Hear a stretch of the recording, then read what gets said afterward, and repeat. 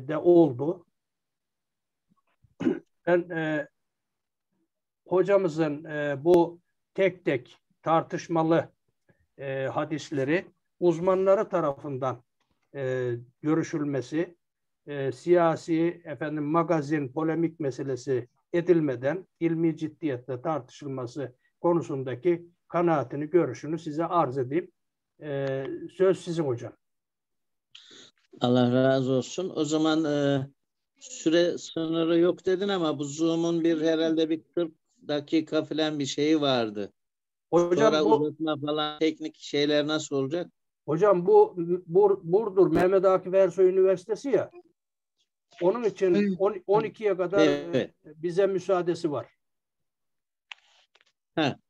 Kısıtlama yok. Peki Allah razı yok. olsun. İnkıta o zaman e, başlayalım. İzniniz olursa da evet tamam inşallah. E, besmelemizi çekelim. Peygamber Efendimiz'e salatu selamlarımızı gönderelim. Allahümme salli ala seyyidina Muhammedin ve ala ali seyyidina Muhammed diyoruz. Rabbi şrahli sadri ve esirli emri diyoruz. Meral Hoca için de vehlül ukdeten min lisani diyoruz. Ahmet Oğuz Hocam hoş geldiniz siz de. Evet, e, Meral Hocam. Hoş e, bulduk e, hocam, saygılar cümleten. Allah razı olsun. E, hazırsın değil mi? Hazırsın. O zaman sunumuza başlayalım. Kaç dakika sürecek? Senin sesin gelmiyor Meral Hoca. Sesi mi kapalı? Heh, şimdi geldi. Yok gelmiyor gene. Ben de kapatayım acaba sesi? Ee, şimdi sesim Heh, Şimdi geldi. Herkes duydu mu hoca Arkadaşlar, hocalarım. Ses geliyor hocam. Tamam, tamam peki. Kaç dakika e, sürecek yaklaşık? Yani tam yarım saat, e, bilmiyorum belki heyecandan daha kısa sürebilir. Heyecanlanma, e, dinlene dinlene yavaş. Heyecanlanacak bir şey yok zaten. Artık sen de bizdensin Allah'ın izniyle. Sen de hadisçisin. Evladımız, ben, e, öğrencimiz Evet, hadi başla bakalım. Evet, e, önce kendimi e, tanıtayım. E, Meral Sabun. E, İslam e, Burdur Mehmet Akif Ersoy Üniversitesi'nde İslam Hukuku Araştırma Görevlisiyim. Şu anda doktora yapıyorum. E, şimdi e, bu konu nasıl oldu, ben e, bu sunuma nasıl başladım diye soracak olursanız e, her şey bir... Bunun hukuki boyutu da var ya zaten. Hukuki evet, boyut da var. Evet, o ağırlıklı konuşacağım ben. evet. E, yalnız e, olay şöyle başladı. O esprisi, işin esprisinden de bahsetmek istiyorum. E, ben e, Veli hocamızla Tıbbı Nebevi'nin işte vahiy kaynaklı mıdır yoksa işte Peygamber Efendimizin zamanın işte kültürüyle e, kendi kültürüne göre o, o zamanın bilgi ve tecrübesine göre mi e, tedavi önerdiğine dair konuşmamızda Urani'nin hadisini kendisine sormuştum. O da bana araştırıp e, gelmemi ve kendisine iletmemi istedi. E, ben de ufak bir araştırma yaptım. E, sonra da e, sunum yapacağımı söyledi. E, ve e, ben işte hocam nasıl olur az hazırlandım falan derken e, bunu bir emir telakki et dedi. Biz de emir demiri keser dedik. E, ve e, biraz daha üzerine eklemeler yaptık. Yani her şey e, bir soruyla başlamış oldu. E, ben özellikle buraya katılan e, çok... Buyurun hocam. Evet, değil mi? E, buraya katılan çok değerli hocalarımıza teşekkür ediyorum. E, benim için de sürpriz oldu katılımcı hocalarımız. E, şimdi e, inşallah bugün e, Urani'nin hadisi ve onun hadisi ve onun bağlamındaki e, hükümler üzerine ben hem genel özellikle de e, teda e, bu e, deve idrarıyla e, tedavi e, konusuna e, değinmiş olacağım. E, peki e, Urani'nin hadisi e, e, nedir? İçeriği nedir? E, hocam e, bir konu açtın tabii Peygamberimizin bu tıbbi bilgisinin kaynakları konusunda zamanın e, tecrübesi, bilgisi oralara mı kaynaklanıyor oralardan yoksa nebevi e, peygamberlik boyutu, vahiy boyutu var mı? Oradaki düşünceni bir iki cümleyle alalım sonra o özel şeye geçelim istedim ben. Ne diyorsun? Kanaatin ne ben, oldu sen? Ben e, kanaatleri hocalarımıza bırakayım. Ben mevcut e, tartışmalardan bahsedeyim diyeyim. Ee, o yani tam He.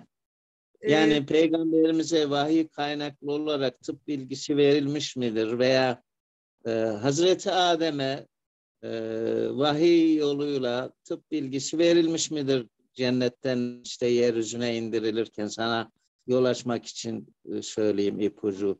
Esma, Ali Osman Hocam, Ali Osman Hocam. Ya Meral Hanım bir besmele çeksin, bir, bir soruları sonra soralım hocam ya. Zaten heyecanlı. bir, bir nefes alsın hocam, bir nefes alsın. Alsın nefes zaten alıyor ben. Peki hadi bakalım Meral Hocam. Ee, şimdi Urani'nin hadisi e, Buhari, Müslim e, ve birçok temel hadis kaynaklarında e, geçen e, farklı varyantlarıyla, farklı isnatlarıyla geçen e, bir olay. E, ben e, olayı kısaca e, açıklamak istiyorum. E, Ureyne ve Ukul kabilesinden e, rivayetlere göre 6 ya da 8 kişi e, has, bir, e, kar, karınlarında oluşan bir hastalık sebebiyle buna e, Bersam ya da Zatülcem e, deniyor. E, Medine'ye geliyorlar ve Peygamber Efendimiz'den e, bu konuda e, şifa istiyorlar. Bu İbn Hacer'in de tercih ettiği görüş. E, başka rivayetlerde e, yani Medine'de hastalandıklarına dair rivayetler de mevcut. E, ve e, bunlar e, e, bunun üzerine e, Peygamber Efendimiz onlara deve e, e, bu arada Medine'ye geldikten sonra da şehrin kirliliğinden e, şikayetçi oluyorlar. Çünkü çölde yaşayan bir kavim, e, Ureyne Kalip e, kavmi ve e, Medine'de e, rahatsız Medine'ye olduklarından. gelmişler hocam. Medine'ye niye gelmişler? Medine'ye yani aslında tercih edilen İbn Hacer'in de tercih ettiği görüşe göre e, bu hastalıklarından şifa e, bulma yani hastalıklarını hasta olarak geliyorlar Medine'ye. E, yani e, sonra Müslüman oluyorlar. O ayrıntıyı tam bilemeyebilirim hocam. Yani belki Yani Müslüman olmaya Müslüman- mı geldiler de sonra o hastalandılar? konuyu o konuyu yani o konuyu o eksiklerimi hocalarımız tamamlasın inşallah o konuda. Tamam. E, ve e, e, biri var işte Medine'nin havası kirli olduğu için Medine'den çıkmak istiyorlar. Yani şehir şehrin içerisinden e, çöl hayatına alışıklar çünkü. E, bir başka rivayette yine e, rivayetler içerisinde humma hastalığından dolayı çıkmak istediklerine dair rivayet var ve Peygamber Efendimiz e, yanların e, e, Peygamber Efendimiz onları şehrin dışında zekat develerinin bulunduğu e, e, bir yere gönderiyor ve e, bir rivayete göre Peygamber Efendimiz'e ganimet olarak düşen develer de olabilir bu. E, ve orada e, sütünden e, ve e, develerin idrarından içmelerini e, onlara tavsiye ediyor. E, yine hadislerde geçen e, rivayete göre e, yine hadislerde geçen ifadelere göre iyileşiyorlar. Yani e, bu te, e, idrarlarından, devenin sütü ve idrarından içerek e, iyileşiyorlar ve e, bu arada şunu da söyleyelim, e, bu kavim Medine'de Müslüman oluyor. Ve daha sonra Medine dışında şifa bulduktan sonra e, irtidat ediyorlar, dinden çıkıyorlar e, ve çobanı, e, çobanları öldürüyorlar. E, bunun üzerine Peygamber Efendimiz Aleyhisselatü Vesselam ekip gönderiyor. E, bunu haberdar alın, e, haberdar e, e, bundan haberdar olunca ekip gönderiyor. Ellerinden ve ayaklarından e, keserek ke, e, kesmeden önce şöyle gözleri e, ateşle ateşte ısınmış çivilerle dağlanıyor. E, bir rivayete göre gözleri oyuluyor. Sıcakta bekletiliyor. Güneşin altında e, su istiyorlar. Su içirilmiyor ve e, ellerinden ve ayaklarından kesilerek öldürülüyor. Yani e, olay bu şekilde. Oranın yani rivayetlerin toplamından e, anladığımız bilgiler bu şekilde cereyan ediyor. Şimdi tabii bu hadisle ilgili birçok e, fıkhi hükümler bina ediliyor. Ben onlardan da kısaca bahsedeceğim. Bu hira, hirabe suçu ve cezasıyla ilgili bir e, delil kabul ediliyor bu hadis. E, bunlar yani Urayne kabilesi burada develeri de çalıyorlar. Ondan bahsetmemiştim. E, irtidat ediyorlar ve çobanı öldürüyorlar. Üç tane suç işlemiş oluyorlar. E, ve burada tabii ihtilaf edilen konu kim yani bir görüşe göre bu hadis had cezası uygulanmadan varit oluyor. Bu İbni Hazm'ın görüşü. Ve daha sonrasında had cezası Peygamber Efendimiz Aleyhisselatü Vesselam'ın fiiline e, uygula yani e, muafık olarak e, ayet inmiş oluyor. Bir başka görüşe göre yine had cezası indikten sonra e, bu hadis e, varis oluyor. E, yine işte had cezası Maide suresi 33. ayette e, bahsediliyor had cezasından. Hadisi ayeti de okuyabilirim. Allah Allah ve Resulüne karşı savaşanların ve yeryüzünde düzeni bozmaya çalışanların cezası ancak ya acımadan öldürülmeleri ya asılmaları yahut el ve ayaklarının çaprazlama kesilmesi yahut bulundukları yerden sürülmeleridir. Bunlar onların dünyadaki rüsvaylığıdır. Onlar için ahirette de büyük bir azap vardır. Yine hadisle ilgili tartışılan bir konu da e, fıkhi açıdan ben biraz fıkhi açıdan e, e, değerlendirmiş oldum. İnşallah hocalarımız e, hadisle ilgili e, boyutunu da tamamlarlar.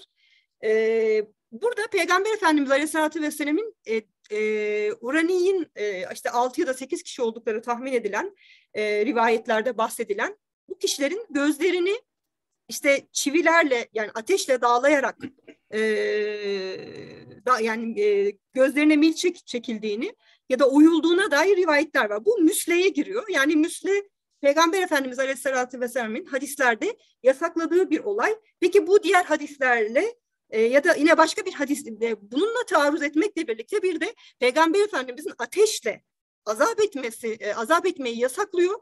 E, yine gözlerini ateşle dağlaması da bu diğer hadise muariz e, gözüktüğü bir durum var. Buna şöyle bir cevap veriliyor. E, bunun işte bu hadisin e, önce geldiğini ve mensuh olduğunu tabii bu çok e, güçlü görülen bir görüş değil, zayıf görülen bir görüş.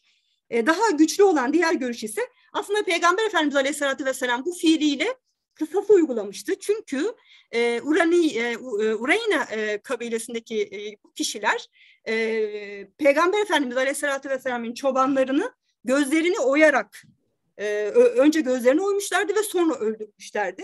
Peygamber Efendimiz Aleyhisselatü Vesselam'ın yaptığı bu fiil e, müsle değil aslında kısastı. E, çünkü müsle ilk olarak yapılan şeye denir.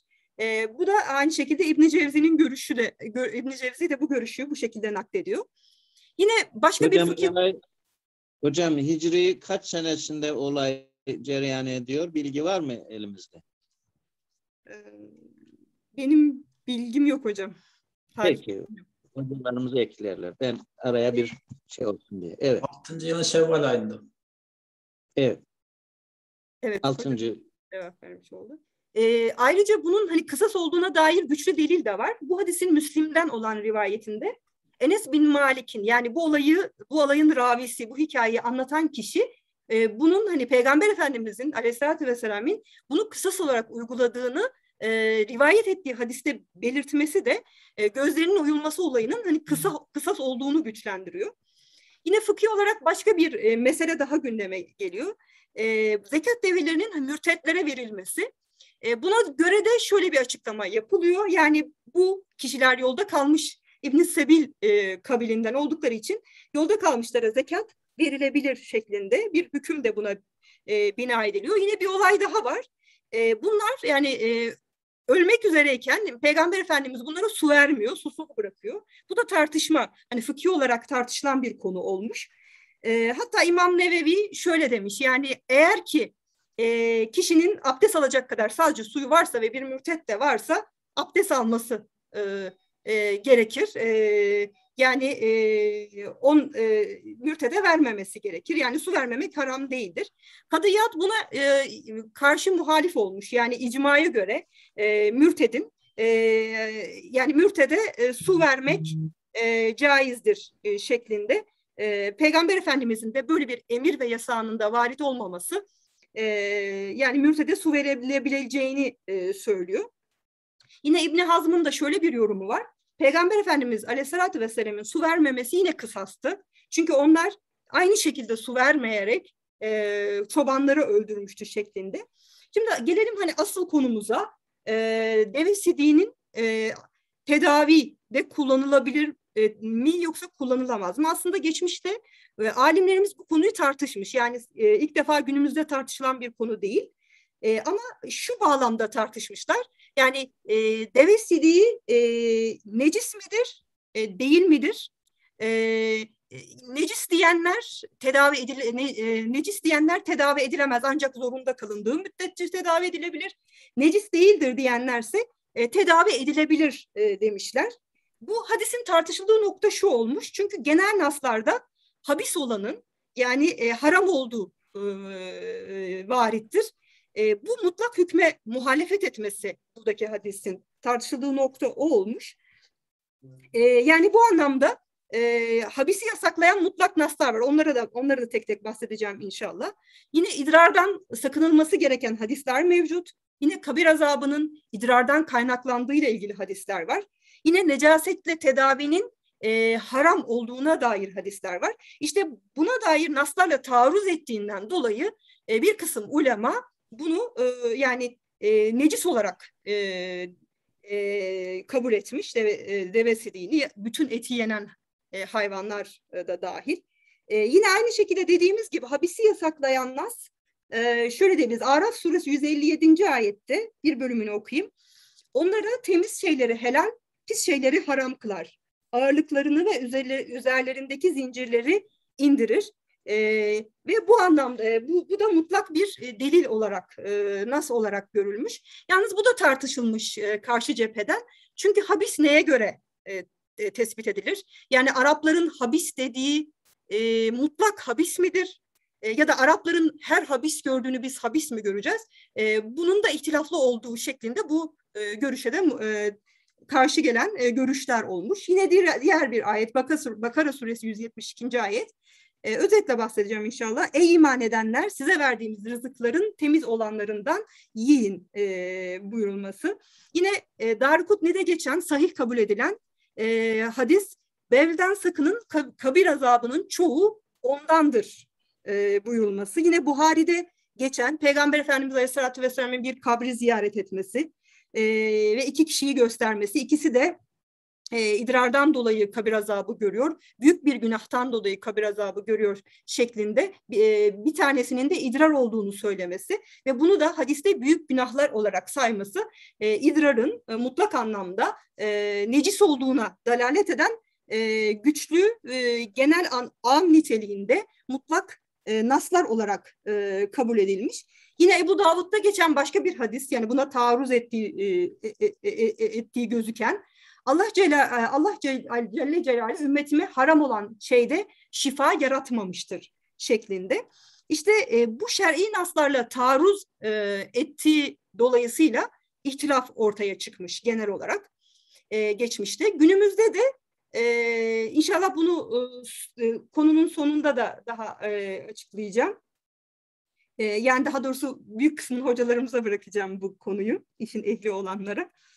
E, yine modern tıp e, modern tıpla taarruzu konusunda günümüz alimleri arasında bir ihtilaf söz konusu. Bu genel olarak şöyle özetleyebiliriz. Yani Peygamber Efendimiz Aleyhisselatü Vesselam dini emirleri beyanla sorumludur. Yani e, diğer konulardan e, bir uzmanlığı olması gerekmez. Buna e, aşılama hadisini örnek gösterirler hepimizin malumu üzerine. E, işte bir ağacın aşılanması konusunda e, ashab uyardığında Peygamber Efendimizin e, aşılama şeklinin doğru olmadığını e, noktasında uyardığında e, Peygamber Efendimiz Aleyhisselatü Vesselam hani ben ben bunun uzmanı değilim şeklinde onların görüşlerinin e, uygulamasını bunu örnek gösterilir. E, yine şöyle bir e, günümüz alimlerinden şöyle e, söyleyenler de olmuştur. Eğer modern tıpta bir alternatif bulunmazsa ehil olan e, doktora bu konuda danışılır. E, ve işte zarar ve fayda dengesine göre e, ona göre bir tedavi eğer tedavi et, et, tedavi olması e, olmaması daha büyük bir zararsa e, tedavi olması e, tercih edilir. E, evet, e, yine fıkhi olarak e, bu konu şu bağlamda tartışılmıştır. E, eti yenen hayvanların e, necis, e, e, sidiğinin idrarının necis olup olmaması etrafında tartışılmıştır. Necis diyenler e, zorunlu olduğu takdirde ancak tedavi edilebilir. E, bu da tıpkı zorunlu hallerde ölü etinin yenmesinin e, caiz olması gibi zorunlu hallerde idrarla tedavinin e, mümkün olması da aynı e, şekilde değerlendirilebilir. yine temiz olduğunu, e, necis olmadığını söyleyenler ise hadisin bizzat e, tedavinin caiz olduğuna delil teşkil ettiğini söylemektedirler. E, şimdi e, alimler e, kimler hangi görüşte? Eti yenen hayvanların e, idrarının tahir olduğunu söyleyenler Ata, Nehai, e, Zühri, İbn Sirin, e, Sevri, Leys, Şabi, Malik, Ahmet, Ahmet bin Hanbel, Muhammed bin Hasan, Züfer e, necis olmadığını söylemişlerdir. Hatta necis olsaydı Peygamber Efendimiz Aleyhisselatü Vesselam buna izin vermezdi e, şeklinde e, beyan etmişlerdir. Kanaate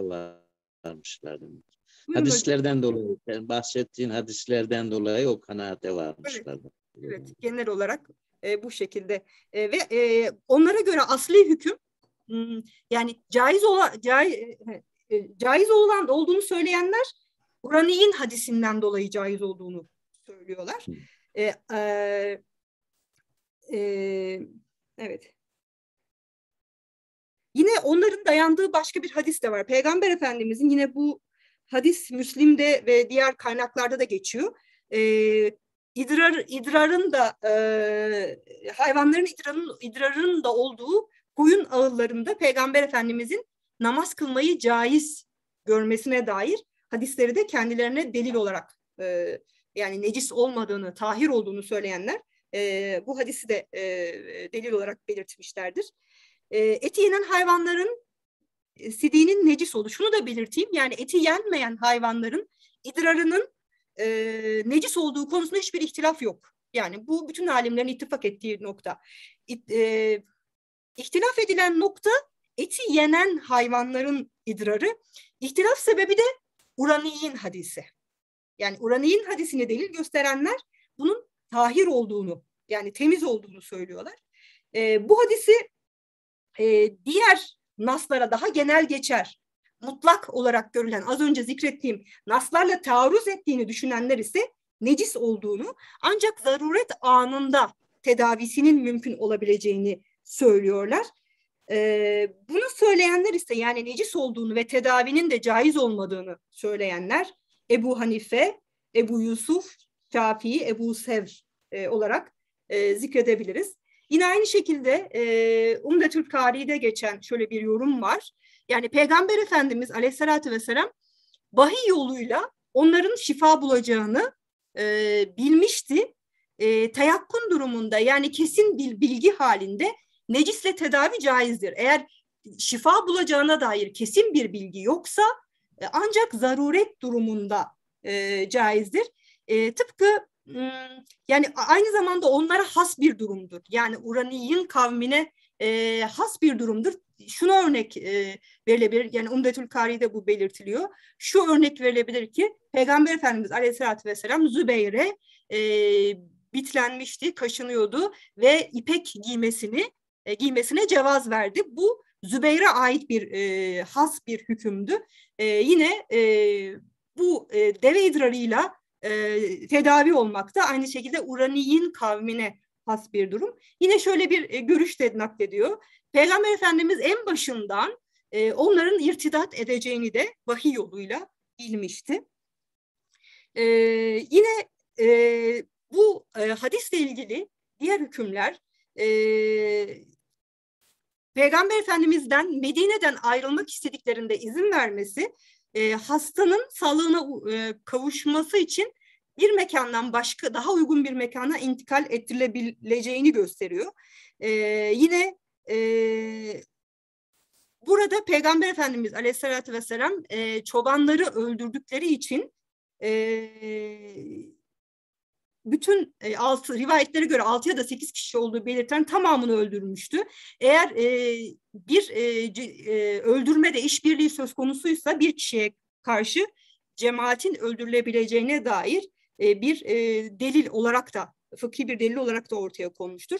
Kaife dediğimiz e, yani orada e, rehberlik yapan kişinin e, şahitliğiyle Peygamber Efendimiz bu cezayı uygulamıştır. E, böyle bir hüküm de verilebileceğine delil olarak e, sunmuşlardır.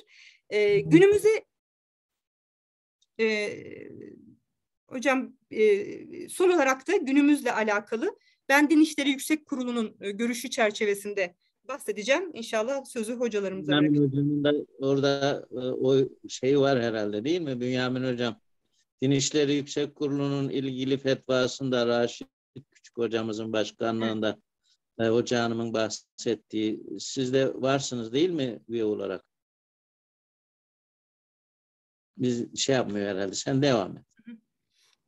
Evet, Profesör Doktor Raşit Küçük'ün başlan, başkanlığında toplanan Din İşleri Yüksek Kurulu e, bu konuyu nasıl değerlendirmiştir? Ondan da bahsedeceğim. E, orada sözüm bitmiş olacak inşallah. E,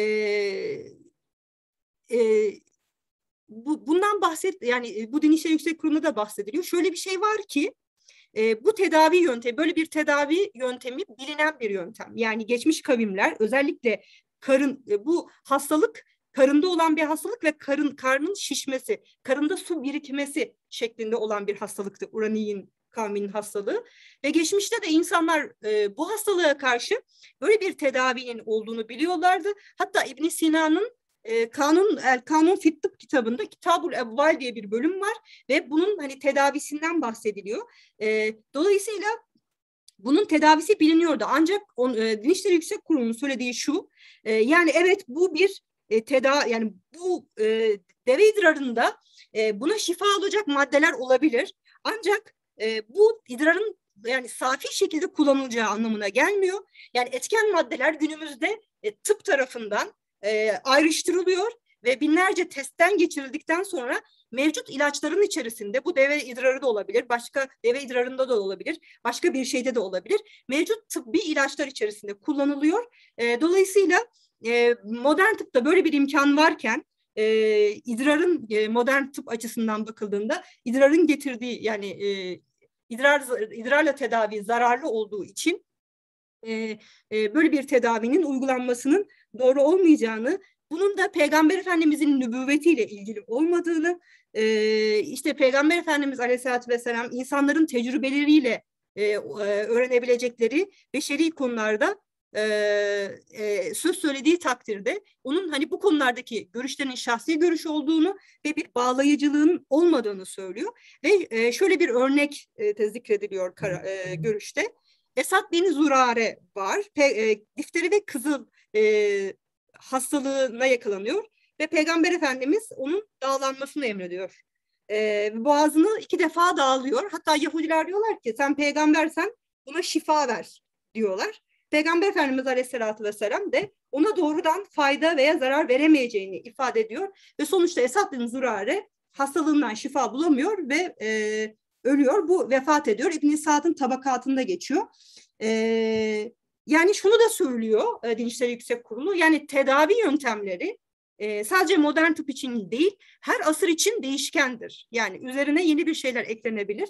E, dolayısıyla e, yani zamanla değişiklik göstermesi tedavi yöntemlerinde e, kaçınılmaz bir durumdur e, şeklinde görüş beyan ediyor. Evet, e, bu şekilde görüşlerimi özetlemiş oldum. Din İşleri Yüksek Kurulumuz e, bu e, Uranilere Peygamberimizin tavsiye ettiği bu e, deve idrarını içme konusundaki tavsiyelerini e, zamanın tıp bilgisiyle, tecrübesiyle, etraftan öğrendikleriyle yaptığını e, vahiy kaynağı bir boyutu olayın olmadığını değil mi? Öyle evet, söylüyor. Evet. Sen de öyle anladın. Evet, net olarak evet. o şekilde belirtiyor. Evet. Şimdi tabii e, olay 6. Hicri yılda cereyan ettiyse e, ondan daha önce biliyorsunuz Hazreti Hamza'ya Uhud Harbi'nde müsle yapılmış. Ben onu hatırlatmak isterim burada hocalarımıza değil mi? Ee, şehit edildikten sonra e, diğer sahabilere de şehitlere de yapılmış müşrikler tarafından peygamberimiz görüyor, çok üzülüyor. E, hatta ashabtan bazıları işte biz de onların hani cenazelerine yapalım böyle deyince de müsaade etmiyor peygamberimiz. Benim hatırımda böyle bir bilgi var Uhud Savaşı'nda. Uhud Savaşı Hicri 5. yıl mı? Değil mi? O zaman bu Uraniler hadisesinden önce peygamberimizin bu işe müsleye yani müsaade etmemiş olması gerekiyor e, diye bir şey e, düşünce fikir hatırıma geldi bir değerlendirme şimdi. Yani hocam kısas olduğu söyleniyor yani onun e, buna cevaben de müsle değil kısas olduğunu söyleniyor. Müsle değil kısas. O zaman kısas olduğuna dair e, hocalarımızın, alimlerimizin değerlendirmesi hadislerle ilgili daha isabetli gözüküyor. Tarihen de öyle gözüküyor. O bakımda e, vurgulamak istedim. Evet, e, başka ekleyeceğin var mı? Yerde gene cevaplar vereceksin tabii hocalarımız soru sorarsa. Meral Hocam teşekkür ederiz. Çok güzel hazırlanmışsınız. E, fıkhul hadis biliyorsunuz e, bizim kelamcı tarafımızda var. Yani bütün ilimler hadis ilmenden doğmuştur. Bütün İslam devlet kurumları nasıl peygamberimizin mescidinden doğmuş, ayrılmıştır. Onun gibi bütün hadiste bütün ilimlerin anasıdır İslam ilimlerin. E, dolayısıyla ben fıkıhçıyım diye hadisçi değilim de, demek değil. Sen de hadisçisin. Hepimiz hadisçiyiz. Mezhepler tarihçisi de hadisçi, tefsirci de hadisçi, fıkıhçı da hadisçi, kelamcı da, hepsi tasavvufçu da. Hepimiz sonuçta hadisçiyiz ve e, hadis bizi birleştiren, toplayan, konsültasyon yapan bir annemiz, e, ana e, hekimimiz pozisyonda e, ayrı ayrı e, çalışmalar yapıyor genç arkadaşlarımız.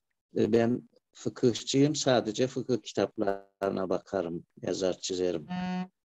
Kelamcıyım, sadece kelam kitaplarına bakarım. Ben işte e, tasavvufçuyum, sadece tasavvuf kitapları okurum, oradan yazar çizerim. Bunun eksik e, olduğunu e, vurgulamak için bizi bütüncül bir sonuca ulaştırmaz. Bütün ilimler madem ki hadisten e, doğmuştur, Kur'an'a, hadise, sünnete başvurmadan, temel şeylere başvurmadan temelsiz bina olmaz malum. Teşekkür ediyoruz Meral Hocam. Güzel hazırlanmışsınız, çalışmışsınız. Allah razı olsun. Doktoranızda da inşallah en kısa zamanda başarılar diliyoruz. Allah muvaffak etsin. Tabii bütün hocalarımızı, bütün ilim yolcularımızı. Evet, e, muhterem hocalarım, değerli hocalarım.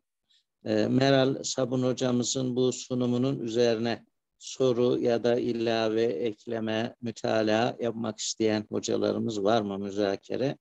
Onlara söz verelim sırasıyla.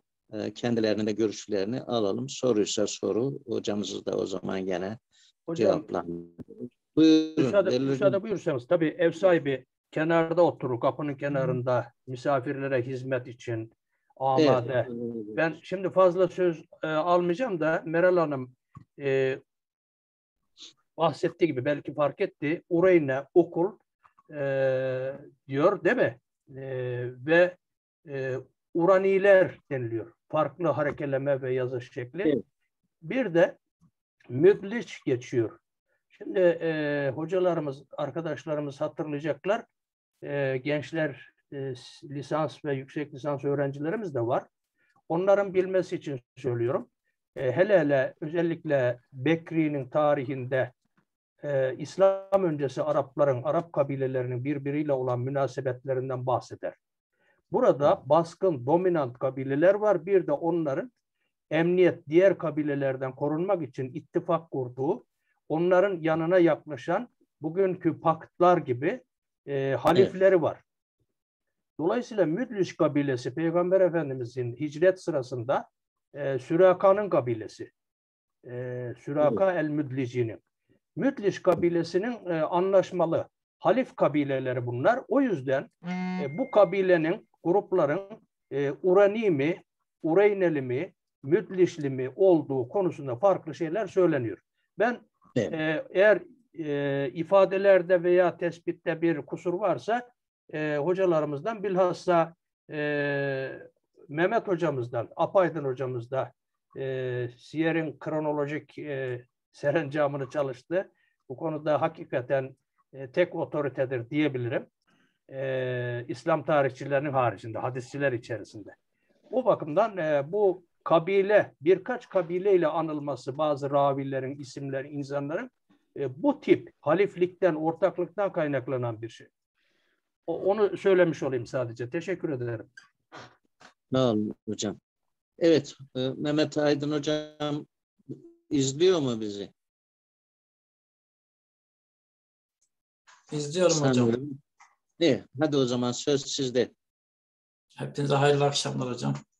Allah razı olsun. Hoş geldiniz tekrar. Kardeşimize teşekkür ediyorum. Genel itibariyle e, bu olayla ilgili e, hem rivayetleri hem de tartışmaları zikretmiş oldu. E, bu kabileyle ilgili e, Urane, Ureyne. Urane dediğimiz yer aslında e, Arafat'a yakın bir yer. Orayla bir alakası yok. Urane demek e, muhtemelen bir hatadan kaynaklanıyor. Ura, Urane değil de Ureyne olması lazım eğer doğru bir telaffuz edeceksek. E, bu kabilenin normalde e, Yemen tarafındaki Becile'ye mensup olduğuna dair rivayetler var. E, ve muhtemelen e, oldukça yabancı e, bir yerden geliyorlar. E, çünkü e, her ne kadar benim Mütlis'le belki ittifakları olsa da bu sonuçta e, benim Mütlis kabilesi bildiğiniz üzere e, Mekke-Şam yolu üzerinde olduğu için çoğu kabilenin e, bu ticaret yolu üzerinde mecburen bu tür kabilelerle e, ittifakı olması gerekiyor benim Müdlic'le. Olmazsa da diyelim ki Gıfar kabilesiyle kabilesi gibi e, Surragul Hacic dedikleri sürekli hacıları e, soyan e, belli kabileler var. Bunlarla ittifak yapmazlarsa benim Mütlis'le ve diğer Cüheyne kabilesiyle bu sefer de Gıfar'ın eline düşüyorlar. Dolayısıyla böyle bir ittifak söz konusu olabilir ama bunu tam araştırmak lazım. E, yalnız bu kabilenin e, ve gelen adamların hakkında çok fazla bir bilgimiz yok maalesef. Yani kaynaklar bu konuda e, suskun. E, olayla ilgili benim e, bildiğim kadarıyla yani üzerinde tam bir çalışma yapmış değilim ama bildiğim kadarıyla e, Enes bin Malik'ten gelen bir rivayet var. Bu e, kesin diyebileceğimiz bir şekilde Enes bin Malik'e nispeti e, e, söylenebilir. Yani birkaç tarikten geliyor direkt Enes'ten alınan. Ancak burada Enes bin Malik'in min elbaniha ve ebvaliha ifadesinin e, Peygamber Aleyhisselam'a nispeti konusunda e, benim gördüğüm kadarıyla bir problem var. Yani normalde e, Enes bin Malik Peygamber Aleyhisselam'dan doğrudan söz olarak bunu nakletmiyor. Kendisi olayı anlatıyor. Dolayısıyla olayı anlatırken e, Uranileri oraya gönderdiğini e, min el baniha ve ebvaliha diyerek de e, onların develerin sidiğinden ve e, sütünden faydalanması için oraya gönderdiğini kendi diliyle ifade ediyor aslında e, gördüğüm kadarıyla. Diğer yani, e, rivayetlerde bu yok. Tabi burada e, Enes bin Malik'in bu şekilde söylemiş olması Peygamber Aleyhisselam'ın bizatihi bunu bu şekilde söyleyip gönderdiğini garantilemiyor benim şeyime göre. E, aslında o günkü e, genel mantığa göre develerden faydalanmanın e, belli yolları var. Bunun sütlerinden içerler, idrarlarından da içiyorlardı bir şeyler, e, kabileler. Hatta bu konuda e, şeyleri karıştırırsanız sözlükleri vesaire oralarda bilgiler bulabilirsiniz. Diyelim ki Halil İbn Ahmet'in e, Kitabul Aynı'nda e, bir kelime var hatta bir dakika bu, bulabilirim onu. E, bu kelime e, hudat, hudat diye bir kelime. E, deve sidiğinden elde edilen bir e, deva, ilaç olarak geçiyor. E, bunların kullandığı, yani başvurduğu bir yöntem. E, anlaşılan, yani benim şahsi şeyim, Enes bin Malik bunu ifade ederken Peygamber Aleyhisselam'ın onları oraya gönderdiğinde bir devenin neyinden faydalanır denildiğimizde sütünden, e, etinden deriz ya biz onun gibi e, sütünden, e, idrarından faydalansınlar diye gönderdi şeklinde ifade ettiği kanaatindeyim. Ve o dönemde de bu devesidiği bir ilaç olarak görülüyordu. Rivayetin normalde olay hicretin 6. yılın Şevval'inde gerçekleşiyor. Bu konuda herhangi bir problem yok. Ben siyer kronolojisi tetkikleri sırasında bunu e, tespit ettiğimi söyleyebilirim.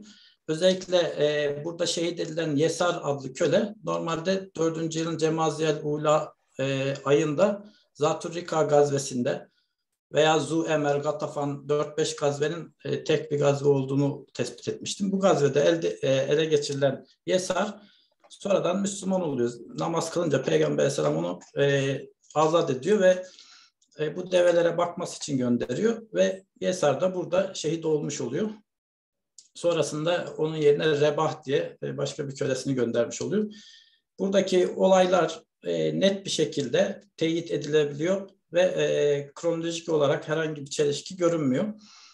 E, ancak olayın bazı şeylerde yani Megazi kitaplarında özellikle İbn İshak'ta ve diğer şeyde İbn İshak'taki tamamen e, İbn İshak'ın kendinden ziyade e, direkt e, Enes bin Malik'ten e, senedinde kopukluk olmak şartıyla nakledilen yani Enes bin Malik direkt zikredilmeden e, tabiinden şimdi ismini hatırlamadım birisi tarafından nakledilen bir rivayet olarak veriliyor.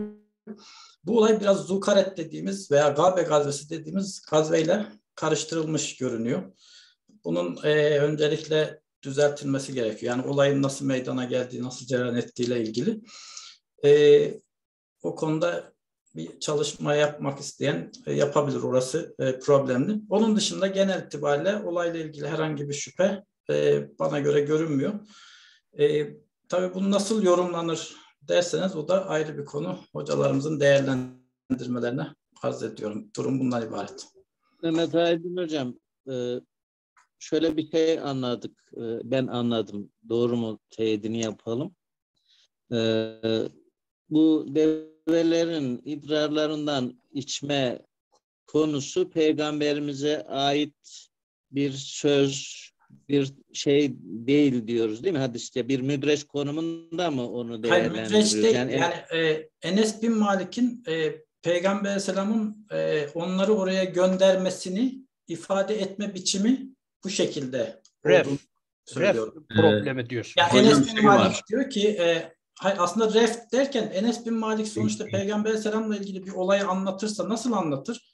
İşte onları oradaki develerin idrarından, sütünden içmeleri için gönderdi diyor. Şimdi bunu dediğinde Öyle oradaki... de demiyor aslında hocam. Hadiste öyle anlamıyorlar şarihler. Ee, yani sözünüzü kestim affedersiniz de şeyi bu hadiste ne diyor? Ennarahum bil e, ennarahum bilikah billikah. Oradaki likah bu ifadeyi özellikle Molla Gürani biraz daha dikkat çekici bir şeyi var. E, diyor ki aslında oraya gitmelerini emretti. Bir hava değişikliği anlaşılıyor buradan. Maaşşurb. Gitmişken de bunlardan içtiler diyor. Aslında dediğiniz gibi sahabi anlatıyor. Yani neyi anlatıyor? Peygamberimiz onlara develerin yanına gitmelerini emretti. Dediğiniz gibi sahabinin anlatışı bu. Ee, ama oradaki ifade aslında oraya gitmeleri, asıl peygamberimizin emrettiği şey oraya gitmeleri. Ama gitmişken de oradan içiyorlar. Burada da peygamberimizin bir rızası olduğu da anlaşılıyor. Bu başka bir şey. Ama asıl emrin konusu gitmek. Evet, yani orada tabii sebep, Gürani'nin izahı. Enes bin Malik'in Enes bin Malik'in tüm tarihlerini incelediğimizde Buyurun. develerin evet. e, sütünden içme şeyi var. Yani normalde e, oraya göndermesinin zaten sebebi mantık itibariyle ya Enes bin Malik'in rivayetini e, metin olarak incelediğimizde mantık şunu gerektirir. Oraya neden gidiyorlar? Çünkü hastalar ve develerin idrarından sütünden içip iyileşecekler. Yani e, problem veya hava değişimi e, de zikrediliyor. Yani burada benim şahsi görüşüm sonuçta e, Peygamber Aleyhisselam'ın bizatihi gidin deve sütünden için deve işte şey pardon deve idrarından için bu idrar şifalıdır vesaire gibi bir şeyden ziyade onları oraya o günkü e, mantığa göre develerden istifade etmek için yani e, o istifade nasıl gerçekleşiyorsa o günkü şeyde gönderiyor. Tabii bunu Enes bin Malik ifade ederken de doğal olarak e, min elvaniha ve ebvaliha diyor.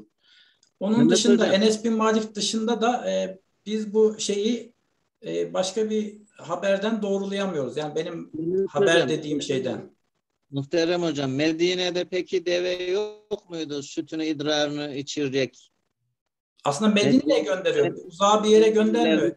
E, Peygamber Aleyhisselam'ın develeri Zülcedr dediğimiz yerde otluyor. Burası yaklaşık iki buçuk üç kilometre bir mesafede mescide. Çok yakın bir yer yani uzak bir yere göndermiyor. Evet. Orada zekat develeri orada olduğu için Zülcedr denilen yerde Peygamber Aleyhisselam'ın e, şeyinde olan zekat develeri orada olduğu için o develerin yanına gönderiyor. Burası da dediğim gibi 3 bilemedin uzaktaysalar 4 kilometreye geçmeyen bir mesafe aslında. O zaman hava değişimi çok mantıklı değil. Ee, orada e, ikamet ediyor gerçi. alakası yok. Yani Molla Gürani hasta oluyor. için gönderdi. Yani orada kalsınlar diye gönderdi. Aslında Doğru. hava değişiminin söylenmesinin sebebi şu. Pe, e, biliyorsunuz Medine'nin e, hava şeyi Mekke ve diğer şehirlere göre biraz daha soğuk. Dolayısıyla Medine'ye gelen insanlar genellikle üşütüp hasta oluyor ve e, şu an benim Kur'an e, siyer kronolojisinde tespitime göre bu olay e, Ocak ayında gerçekleşiyor. Yani e, havaların soğuk olduğu ve muhtemelen adamların e, vark dediğimiz veya voike dediğimiz şekilde hastalanmalar yani soğuk almalarının çok mümkün olabileceği bir yerde gerçekleşiyor. Genelde de zaten diğer rivayetlerde biz bunu görüyoruz. Yani işte Hendek gazvesinde de bu e, zamanda gerçekleşiyor. Soğuk havalarda insanlar e, hasta olabiliyorlar. Teknik bir arıza. Böyle Evet, bir durum. Yani o sırada e, tarihte bunu teyit ediyor. O hastalıktan e, dolayı e, normalde şeyleri de şişmiş oluyor. Yani karınları. Biraz da tabii aç ve zayıflar muhtemelen rivayetlere göre. Onun için gönderilmiş oluyorlar. Yani e, buradaki problem aslında e, çok basit bir şekilde e, Peygamber Aleyhisselam'ın gönderdiği şeyi, yani bu idrar kısmını söylüyorum tabii. Şimdi bir de müsle ve diğer kısımları var. Onu da ayrıca tartışmak lazım. E, orada Enes bin Malik'in Peygamber Aleyhisselam'ın eylemini anlatmasından ibaret ve bu eylemi Enes bin Malik anlattığında doğal olarak sonuçta e, o sırada 10 15-16 yaşlarında bir çocuk Enes ve e, o günkü bildiği, gördüğü şey üzerinden anlatacaktır. Yani devenin neyinden içilir, neyinden yenir onu anlatmıştır yani. Yani eklemede mi bulundu demek istiyorsunuz hocam? Hayır eklemede bulunmadı. Sadece e, onu anlatırken doğal olarak min elbaniha ve ebvaliha şeklinde e, Peygamber Aleyhisselam'ın onları neden gönderdiğini ifade etmiş oldu yani. Hocam Benim e, bir- izniniz olursa Meral hocama bu hadisin kaynaklarıyla ilgili elinde varsa nerelerde var acaba? Sahih kaynaklarda nerelerde geçiyor? Hangi kitaplarda, hangi bölümlerde? Çok Onları fazla hocam. Çok, görebildiniz mi hocam? Var mı? çok Yani- fazla. Ee, yani Buhari Müslim'de geçiyor ee, ve e, birçok e, e, diğer sahih kaynaklarda da geçiyor. Ve sadece tek bir e, isnattan da geçmiyor. Farklı isnatlar ve farklı başlıklar altında. İşte taharet babı, hirabe ile ilgili e, had babında geçiyor. Tedavi, e, bevl ile tedavi konusunda geçiyor. Yani hem farklı başlıklarla hem farklı isnatlarla da geçiyor. Ama çok Sadece Enes'in tarikleri 300'den fazla gibi görünüyor diye bütün kaynaklar. Bir kanaatini öğrenmek istedim. Hani bu o, olayı hani Peygamber Efendimiz kısas olsun diye böyle yaptı diyorsun ya. Buhari acaba onu hangi bölümlerinde almış? Buhari'nin kanaati de öyle mi? Hani Buhari'nin bir şey var ya e, Evet. hadisi bir yere koyar nakleder ondan da bir amacı vardır mesela.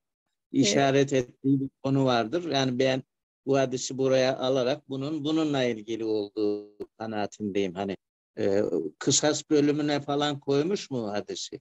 hocam şeyden Hanefi Hoca kaynaklarını attı istersen chatten görebilirsiniz. Ben e, ben e, baktım önceden de e, çalıştım dersime gelmeden hoca hanıma o kaynakları şey yapmadığı için e, e, Evet. Evet. şey yapalım diye açalım diye Hocam, söyledim. Ben hani e, özet olsun e, daha çok hocalarımıza söz vereyim diye hani mümkün mertebe özet geçmeye çalıştım. Kısasla ilgili bölüm özellikle Müslim'deki rivayette e, ten alınıyor. E, Müslim'deki rivayette Enes bin Malik e, bunu kendi ifadesiyle kısas olduğunu söylüyor. Buhari'de mesela bir bapta ilginç olan hani benim dikkatimi çeken e, bunu e, e, cahil, e, hocalarım yanlışsam düzelsinler. E, Bevl ile tedavinin e, caiz olduğu başlığıyla da alıyor. Hani Buhari'nin görüşü de bu anlamda hani öğrenmiş oluyoruz. E, ama tabii ben kısıtlı e, araştırdığım için e, çok geniş e, bilmiyorum hocam. Bildiklerim bu kadar. Seni de hadisçiden kabul ettik canım. Aramıza aldık işte bak beraber. Hadisçiler camiasına kabul edildin yani. E, fıkıhçılar gibi artık çok sert şey olma. Kelamcılar da sert. Cedeli severler ama biz hadisçiler yumuşak böyle seveceğin, hoşgörülü, böyle sevgi dolu birbirimizi çok sayan, seven, efendim işte özleyen e, hocalarız. Neyse aramıza hoş geldin. E, bana öyle demişti hocalarımız. Ben de size söyleyeyim. Evet, e, konuya Meral hocamıza ilave e, yapacak e, hocalarımız var mı? Ee, Veli kıymetli hocam. hocam. Ee, kıymetli hocam müsaadeniz olursa ben de birkaç kelime konuşmak istiyorum. E, hocalarım, E, e, ben e, olmazsa söz alan hocalarımız diğerleri tarafından belki tanınmıyor olabilir. Kısaca kendi isimlerinden ve e, branşından hatta görev yerinden e, bahsederse değil mi Ali Osman Hocam? Ne evet, buyursunuz? çok memnun olurum. He, hem çok tanışmış memnun oluruz hocam. Eyvallah. Çok güzel olur, sünnet olur. Peki. Hocam e, Hocamızdan başlayalım. sesim geliyor mu kıymetli hocam? Sesiniz geliyor, sizi tanıyalım diyoruz. Hocam, Ee, ismim nerede görev yapıyoruz? Doktor öğretim üyesi Gaziantep İslam Bilim Teknoloji Üniversitesi Temel İslam Bilimleri Anabilim Dalı Tefsir alanında e, öğretim üyesiyim. Sesim Evet, ki. mu hocam? Anlaşılıyor. Arada teknik sorun olmakla beraber şimdi anlıyoruz hocam Zeki hocam. Buyurun. E, Şimdi e, bu hadis ile ilgili e, ben şimdi biraz e, az çok bilgi sahibi edindim. Tabii burada büyük hocalarımız varken e, bize konuşmak pek şey değil ama Tamam. e, e, burada e, şimdi şunu e, demek istiyorum. Hazreti Enes'ten gelen rivayette bir Basra e, hadisçilerin rivayet ettiği bir e, kanal var. O kanalda genelde deve idrarinden bahsediliyor. Ama Basra e, hadislerin e, dışındaki genel e, kanallardan gelen rivayetlerde pek idrar geçmiyor. Sadece deve sütü geçiyor. Şimdi e, hatta bazı rivayetlerde özellikle Nesai, Ebu Davud e, Peygamber Efendimizin deve idrarını içmeyi tavsiye etmediğini, bunu oradaki e, Basra hadisçilerinin eklediklerini e, söylüyor bazı rivayetlerde. Şimdi e, o zaman Araplarda böyle bir deve içme, tedavi için deve içme şeyi vardı, tekniği vardı. Yani böyle bir tıp vardı o zamanlar. Şimdi bunun e, hani tuhaf karşılanacak bir tarafı da yok. E, niye ki? Çünkü şöyle bir şey söyleyeyim. E, geçen gün bir tedavi, mide tedavisi için doktora gittim. Doktor bana bir ilaç verdi. Şimdi dedim ki bu ilacın içerikleri nedir acaba bakayım dedim. Reçete okuduğunda e, domuz e, efendim pankreasından üretilmiştir diye ilacın içeriğinde o yazıyordu. Domuz pankreasından. Şimdi şaşırıp kaldım. Yani bu mide ilacı niye domuz pankreasından üretilsin diye. E, şaşırıp kaldım. Dedim ben bu ilacı içmem dedim. Yani tedavi de olsa e, ayete, e, ayetin şeyine binaen dedim. Ben bu ilacı İlacın adı neydi hocam? İlacın adı neydi Zeki hocam? Efendim? İlacın adı neydi? Hocam İlacın e, adı. Ke- Kenon diye bir ilaç hocam. Böyle bir mide ilacı. Garip bir şey böyle. Keon mu? Keon. Evet Keon. Domuz çok büyük olarak insana da oldu. Geçmiş olsun. Buyurun. Teşekkür ederim. Hocam e, hani şunu demek istiyorum. Tabii ki e, bazı hayvanların e, tedavi amaçlı tabii ki nebevi tıpta kullanıldığını biliyoruz. Yani bunlar ama e, şimdi batılar tarafından böyle domuzun her şeyi kullanılıyor gerçekten tedavi amaçlı. Yani domuz, domuzun adamlar kıllarını dahi israf etmiyorlar. Yani kıllarından diş fırçası yapıyorlar. Bir ne yapıyorlar. Adamlar o kadar ki sanki kutsal bir hayvanmış gibi yani kıllarını bile değerlendiriyorlar. E, Bizde bir e, yani bir deve sidiğini Araplar kullanmış, tedavi için kullanmışlar. E, bu bize şey geliyor, tuhaf geliyor, garip geliyor. Hele hele İslam camiasında sanki aydın dediğimiz kesimler tarafından sanki peygamber sadece insanlara böyle şurup gibi idrar için demiş. Sanki işinizi bırakın idrar için demiş böyle. Yani gündemin böyle bir şeyle e, çok üzücü bir durum gerçekten. Bir ara e, Caner Taslaman, e, Ebubekir Sifil'de hocayla televizyonda böyle bir şey olmuştu, bir muhabbet olmuştu. Yani üzüldüm yani. Halbuki rivayetlerde e, çok zayıf hocam. Yani diyor ki idrar içilmesini peygamber tavsiye etmedi. Ebu Davud böyle söylüyor. Nesai kanaldan gelen rivayette yine öyle söylüyor. İdrarın içtiğini tavsiye etmiyor. Sadece süt iç demiş yani. Medine dışına çıkın demiş. 8 kişilik bir grup geliyor Ureyne ve Ukayl kabilesinden. Bunlar Medine'nin havası kendilerine yaramıyor, hasta oluyorlar. Ve Allah Resulü bunlara diyor ki develerle birlikte diyor, çobanla birlikte Medine dışına çıkıp orada deve sütünü için diyor. İşte sağlığınıza kavuşun diyor. Yani tavsiye ediyor bunu o da. E, bu sırada bunlar çıkıp orada deve sütünü içip artık Arap geleneğinde tıp şeyinde deve idrarda şifa olarak bildikleri için onu da içiyorlar. Onu da içince bu defa işte rivayetlere onlara katılmış olabilir diye düşünüyorum. E, benim görüşüm böyle. Kusura bakmayın. E, kıymetli hadis hocalarımın huzurunda böyle konuşmak affınıza Allah razı olsun. Güzel katkı sundunuz. Gerçekten e, güzel, faydalı oldu. Allah razı olsun. Hadisçi gibi böyle şey yaptınız. e, yani e, senetler, işte isnatlar, şuradan gelince şu, buradan gelince bu aynı raviden gelen bakın ama e, farklı şeyler, metinler oluşuyor. Bu çok önemli. Onu yakalamışsınız. Çok güzel.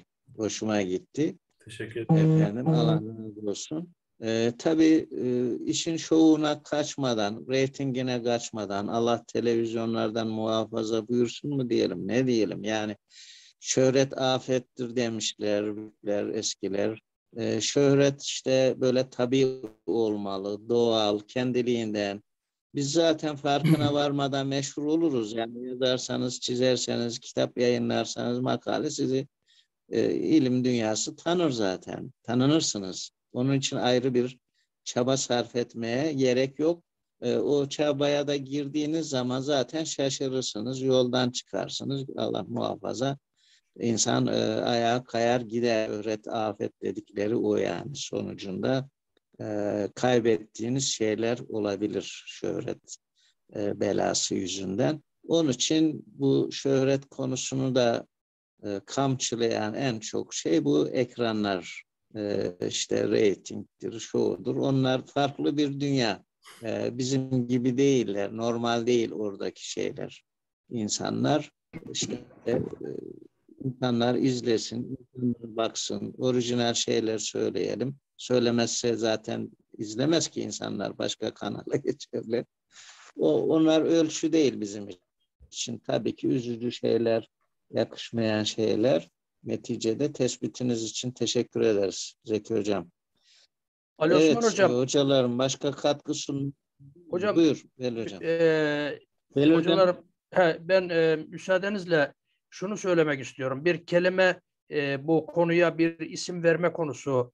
E, o zaman tabii e, ilaç denmemiş de tıp denmiş. Bu tıp-ı nebevi adı altında e, ele aldığımız rivayetler ve bu rivayetlerdeki bahsedilenler aslında tıp değil, farmakoloji, ilaç, drog. Evet. Yani e, Evet. bunu bu şekilde tartışmakta fayda var diye düşünüyorum. Eğer tıp-ı nebevi dersek bu ayrı bir sanat dalı. İlaçların Evet. uygulanma sistemi, teşhisi vesairesi. Resulullah'ta bu yok. Sadece e, Evet. kendisine isnat edilen, edilmeyen, Arap kültürüne, folklorik tıbba ait olsun olmasın, merfu nebevi olsun olmasın, e, çoğunluğu yüzde doksanın üzerindeki oranına tedavi, teşhis yöntemi önermiyor malumunuz Peygamberimiz. İlaç, hastalık şey e, öneriyor. Buna da tıbbu nebevi değil de farmakoloji diye tartışmamızda fayda var diye düşünüyorum. Rahmetli Ali Haydar Bayat hocamız vardı. Veli Hocam hatırlar mısınız? Biliyorum münasebetimiz vardı. rahmet. Allah rahmet eylesin. mekanı cennet olsun. Amin. O e, fakülteye geldiği zaman İzmir'de misafir olarak işte ben kendim onu hadis derslerine de götürdüm. Birkaç seferler götürdüm. Bunlar işte e, koruyucu hekimlik bağlamında Peygamber Efendimizin tavsiyeleri, şeyleri derdi. Hatta bir şöyle hatıramız da oldu. E, dersin birisinde işte bu vaktiyle e, çıkardıkları Sızıntı diye bir dergi vardı. Öğrenciler işte okuyor bazıları. Ayakta e, su içmekle ilgili bir orada yazı okumuşlar. Ayakta su içersen işte mide sırtınlığı olur, işte bir e, yarım kiloluk şey işte beş kilo ağırlığında midene çöker filan diye Ebu Hureyre'nin de o hadisi vardı ya radıyallahu anh ayakta su içen işte e, kussun gibi falan içmeyin develer gibi ayakta su diye. O, onu falan şey yapmışlar. Ali Aydar Bayat Hoca rahmetli dedi ki bu ilahiyat fakültesine dedi anatomi dersleri koymalı dedi. Orada onu unutmuyorum. Tahtaya da e, tebeşiri aldı. Bir e, şema çizdi. Bir yutak e, insanın ağzı işte midesi o organları çizdi. E, insanın dedi şeyi yutak diye bir şey var.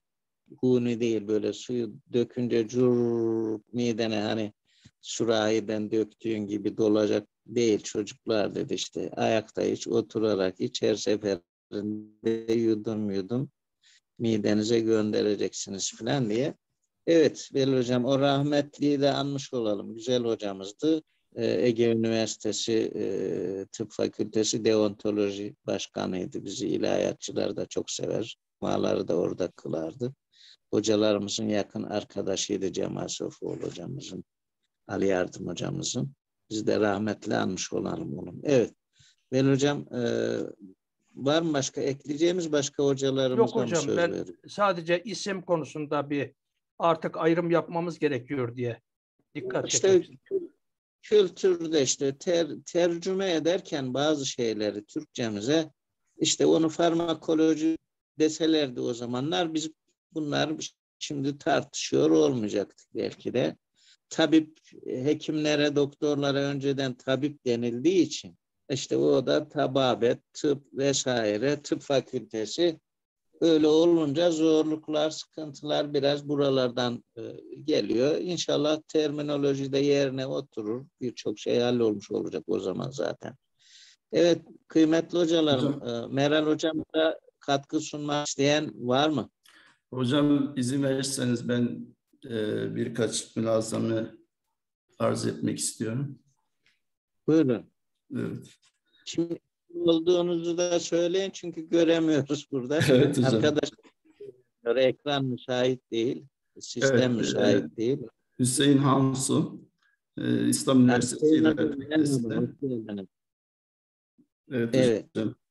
Ee, hocalarıma selam ve hürmetlerimi sunuyorum. Herkese hayırlı akşamlar diliyorum. Hocam bu konuyla ilgili özet olarak birkaç münazzam ve arkadaşlarımızın müzakeresini arz etmek istiyorum. Öncelikle şunu belirteyim. Yani kendim kanaatim olarak e, her ne kadar Veli Hoca'nın belirttiği gibi tıbbın nebevi veya farm farmakoloji dersek bile sonuçta o dönemde bir takım tedavi şekillerinin hadis kitap, kitaplarına yansıdığını görüyoruz. Ancak Evet. bu vahiy kaynaklı mıdır yoksa o dönemde yapılan uygulamalar mıdır? Bu hadislere baktığımız zaman o dönemdeki tıbbi uygulamalardır. Yani halk arasında yaygın olan tedavi şekilleri olduğunu anlıyoruz. Nereden anlıyoruz? Ee, iki ifadesini arz etmek istiyorum. Hadiste geçen iki ifade. Birincisi şu. İnne efdalı ma tedaveytum bihi el hacametu. Yani sizin tedavi şekilleriniz arasında en iyilerinden bir tanesi hacamattır. Bunu Hmm. kendine nispet etmiyor Peygamber Efendimiz Aleyhisselatü Vesselam. Sizin tedavi şekilleriniz diyor. Evet, evet. Bir başka hadisinde de yine içinde hacamatın da geçtiği bir hadis bu. Ama hacamatı tasvip etmiş oluyor değil mi? Tavsiye Tasvip, evet, tasvip etmiş Evet, oluyor evet. ama mesela diyor ki işte dağlamayı da yapıyorsunuz. Dağlamayı ben sevmem diyor. Evet. Buradan ne anlıyoruz? Buradan demek ki o dönemde halk arasında yaygın olan tedavi şekillerini Peygamber Efendimiz de kullanmıştır, tavsiye etmiştir. Buradan sünnet olarak değerlendirilebilecek şey nedir?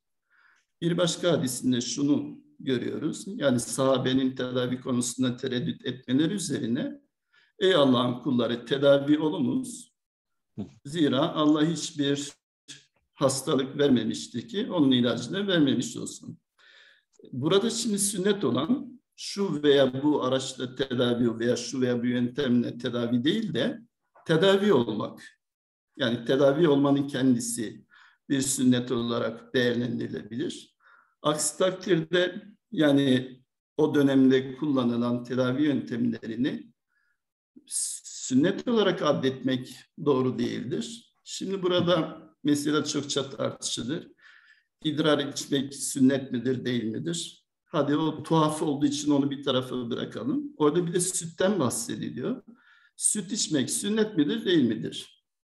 Hatta su içmek sünnet midir, değil midir? Değildir değerli hocalarım. İbn-i Kuteybe bizzat bunları söylüyor. Yani yemek, içmek vesaire filan diğer insanlar, Müslüman olanlar, olmayanlar nasıl içmişse Peygamberimiz de öyle içmiştir. Cahız da bu konuya değinerek aynı şeyi söylüyor. Yani bunlar diyor o dönemde uygulanan tedavi şekilleridir. Bunları şey olarak yani dini bir değer atfedemeyiz şeklinde bir açıklaması var. Ben de o kanaatte olduğumu belirtmek istiyorum. Olayın şöyle bir boyutu da var. Yani bu rivayetin bizim hadis kaynaklarında geçmesi tarihsel açıdan bir değeri var. Yani o dönemde yaygın olan tedavi şekilleri hakkında veya o kültür hakkında bize bilgi veriyor. Yoksa evet. bunu bir din olarak değerlendirmemiz e, doğru olmaz diye düşünüyorum. E, bu açıdan rivayet bence önemli. O halde bizim şarihlerimizin ya da hukukçularımızın yaptığı gibi bunu hukuki ve fıkhi açıdan değil de tıp tarihi açıdan da değerlendirmek daha doğru olur. Nitekim şeye baktığımız zaman e, Meral hocamız da zaten dile getirdi. E, ibn Sina'nın El Kanun Fittibine baktığımız zaman orada bir bölüm olarak geçiyor ve sadece deve idrarı da değil. Bütün hayvanların idrarlarını tek tek incelemiş ve tıp tarihinde hangisinin hangi hastalığa iyi geldiğini belirtmiştir ve bu 18-19. yüzyıla kadar da e, tıp fakültelerine okutulan bir kitaptır. Yine bir hocamız biraz önce dile getirdi. Modern tıpta da uygulanan bir şeydir. Yani e, kendi tecrübemden e, ben biliyorum. Mesela ilgili ilaçları kullandım. Bunların hepsinde yüzde on, yüzde on beş, yüzde yirmi üre içerir diye üzerinde yazar. Üre ne demektir? İşte bu bir, burada te, tartıştığımız şey demektir. Yani aslında burada ilahiyatçıların bu konuyu bir açıdan değerlendirmesi çok doğru değil. Belki bu konunun uzmanlarını konuşturmak daha doğru olur diye düşünüyorum. Yani burada hukuki ve fıkhi bir durum da yok yani bunu tartışmak için. E peki necaset tedavide kullanılabilir mi diye bir şey akla gelebilir. E, hocalarımız zaten belirttiler. Bu zorunlu durumlarda her şey domuz eti dahil her şey kullanılabilir, içki de içilebilir. Bunları biliyoruz. Ee, Ama öyle bakmıyorlar hocam bazıları. Yani Nevevi mesela diyor ki e, hamr değilse necisle tedavi caizdir. Orada mesela ayırıyor hamrı. Hocam yani Nevevi, hassasiyetler Nevevi, de oluyor bazen. E, evet Nevevi'nin sonca yaklaşım biçiminde dikkat almamız lazım. Yani Nevevi'nin bir ehli hadis bakışıyla, bakış açısıyla e, hadisleri yorumladığını. Yani bazı kaygılarla hareket ediyorlar ister istemez. Efendim? Böyle bazı kaygılarla hareket ediyorlar ister istemez. Fıkhi bakışla yani. Yani hocam her şey fıkhın içinde Sünnet değil, bağlayıcı değil ama e, fıkhi açıdan da bugün cevaplanması gereken sorular üretilmiş oluyor filan. Böyle boyutlar oluyor yani. Ama şunu biliyoruz ki biz e, ehli hadisin, hadisçilerin demiyorum yani hadisçiler içerisindeki daha hadisçi olanların efendim Peygamber Efendimizin bütün sözlerini, fiillerini, davranışlarını, yürüyüşünü, her şeyini taklit ettiğini ve bunu sünnet olarak değerlendirdiğini biliyoruz. Ama bu İslam alimlerin genel görüşü değildir. Yani hadisler içerisinde müfrit bir akımın olduğunu kabul etmek durumundayız. Bunlar sadece Hazreti Peygamber dönemindeki normal beşeri davranışlarını değil, peygamberlik öncesi dönemini de sünnet olarak kabul ediyorlar. Dolayısıyla bence değerlendirmeyi bunun üzerine yaparsak yanlış olur diye düşünüyorum. Hayır hayır aynı kanatteyiz de böyle de e, kaydı taşıyan insanlar var diğer taraftan diyorum. Yani bizimki de zaten. genel geçer değil. Onu anlatıyorum. Değerli hocam Aynı zaten bu meseleyi meşhur eden de işte bu kaygılar. Yani şimdi e, Ebu Bekir Sifil hocamızla diğer arkadaş bu konuyu tartışmasalardı belki çok kimsenin böyle bir rivayetten haberi bile olmayacaktı yani. Şimdi hocalarımız şey dediler yani birçok kaynakta geçiyor dediler. Bu birçok kaynakta geçmesi bu rivayetin güçlü oluşundan kaynaklanmıyor. Tuhaflığından kaynaklanıyor. Yani ortada tuhaf bir rivayet var. Herkes merak etmiş. Herkes kullanmıştır. Ben şahsen böyle bakıyorum yani. Evet. Hatta tuhaflığı buradan ziyade o işkence gibi görülen taraflar var ya ve kısasla izah ediyorlar ki onun da bence delili yok. Ben Ee, hocam iki- daha tuhaftır yani. Ben o ikbara gelmek istiyorum. Yani bu birinci kısım tıbbi açıdan e, o kaygıları zikrettikten sonra evet yani bu e, şey açısından da bu rivayet değerlendirilmelidir. E, şimdi öncelikle şeyi unutmamamız gerekiyor. Yani Maide 33 e, gasp ve yol kesenleri e, uygulanan ceza açık bir şekilde ayet-i kerimede var. Yani bu hadislere baktığımız zaman eğer o bazı eğer ravinin kendi tasviri değilse, betimlemesi değilse e, orada diğer genel şeyler ayete uygundur. Yani Hayır, hadisi bu e, açıdan Çobanlara bunu şey. yaptıklarının delili var. Onu diyorum. Efendim? E, kısas diyoruz ya, tabii Evet. kısasa uygun. Ayet var. E, bu Kilabe de zaten eklemiş rivayetin devamına. Evet. O başka bir şey ama e, bunu e, bu cezayı görenler gerçekten çobanlara bunu yaptılar mı? Bununla Onu- ilgili çok bilmiyoruz. açık bir delil var. Hayır onu biz bilmiyoruz ve Onu biz diyorum. zaten Delilsiz şu anda dediğim bu. O fikir yürütmeyle tamam. evet ama şu anda zaten Ee, hoca hanım görmüştür o çobanlara yapmış o katiller değil mi? Gözlerini falan bir şey söyledi hoca hanım. Ee, Yani- oymuşlar gözlerini. Evet. Enes bin Malik'in ifadesinden anlıyoruz hocam. Ee, Müslim rivayetinde geçen e, bunun kısas olarak yapıldığını ifade ediyor. yalnız e, Buhari'deki işkence olay Buhari'de ben şu an tam hatırlamıyorum. Belki Meral Hanım görmüş olabilir. Şöyle bir notu var Buhari'nin veyahut da Rabi'den aktarıyor. Ee, Haccac bir gün soruyor yani hadisçilerden birine Hazreti Peygamber'in en şiddet içeren hadisi hangisidir diye sorar. Buhari'de geçen bir bilgi şu anda tam şeyini veremem ama belki bilen arkadaşlar bize aktarabilirler. Ee, Haccac'a bu hadis aktarılır. Sonra başka bir ravi diyor ki keşke anlatmasaydı bunu Haccac'a. Yani çünkü Haccac buradan destek alarak e, e, o dönemde kendisi de buna benzer şeyler, uygulamalarda bulunmuştur. Yani bu buradaki rivayetlerin destek alarak. Yani kanaatimce e,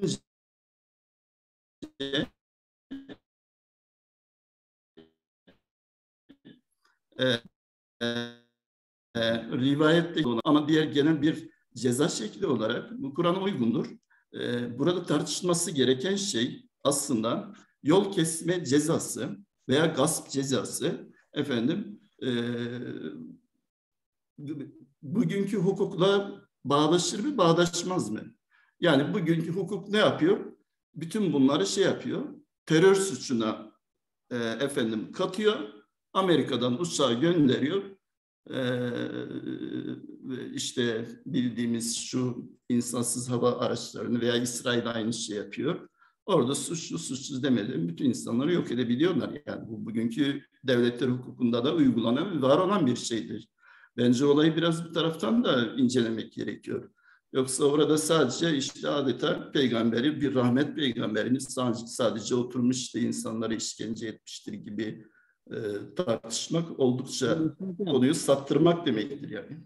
Hocam, e, 1900 sanıyorum 92 yılında Şanlıurfa İlahiyat Fakültesi açıldı. O zaman Gaziantep'e bağlıydı.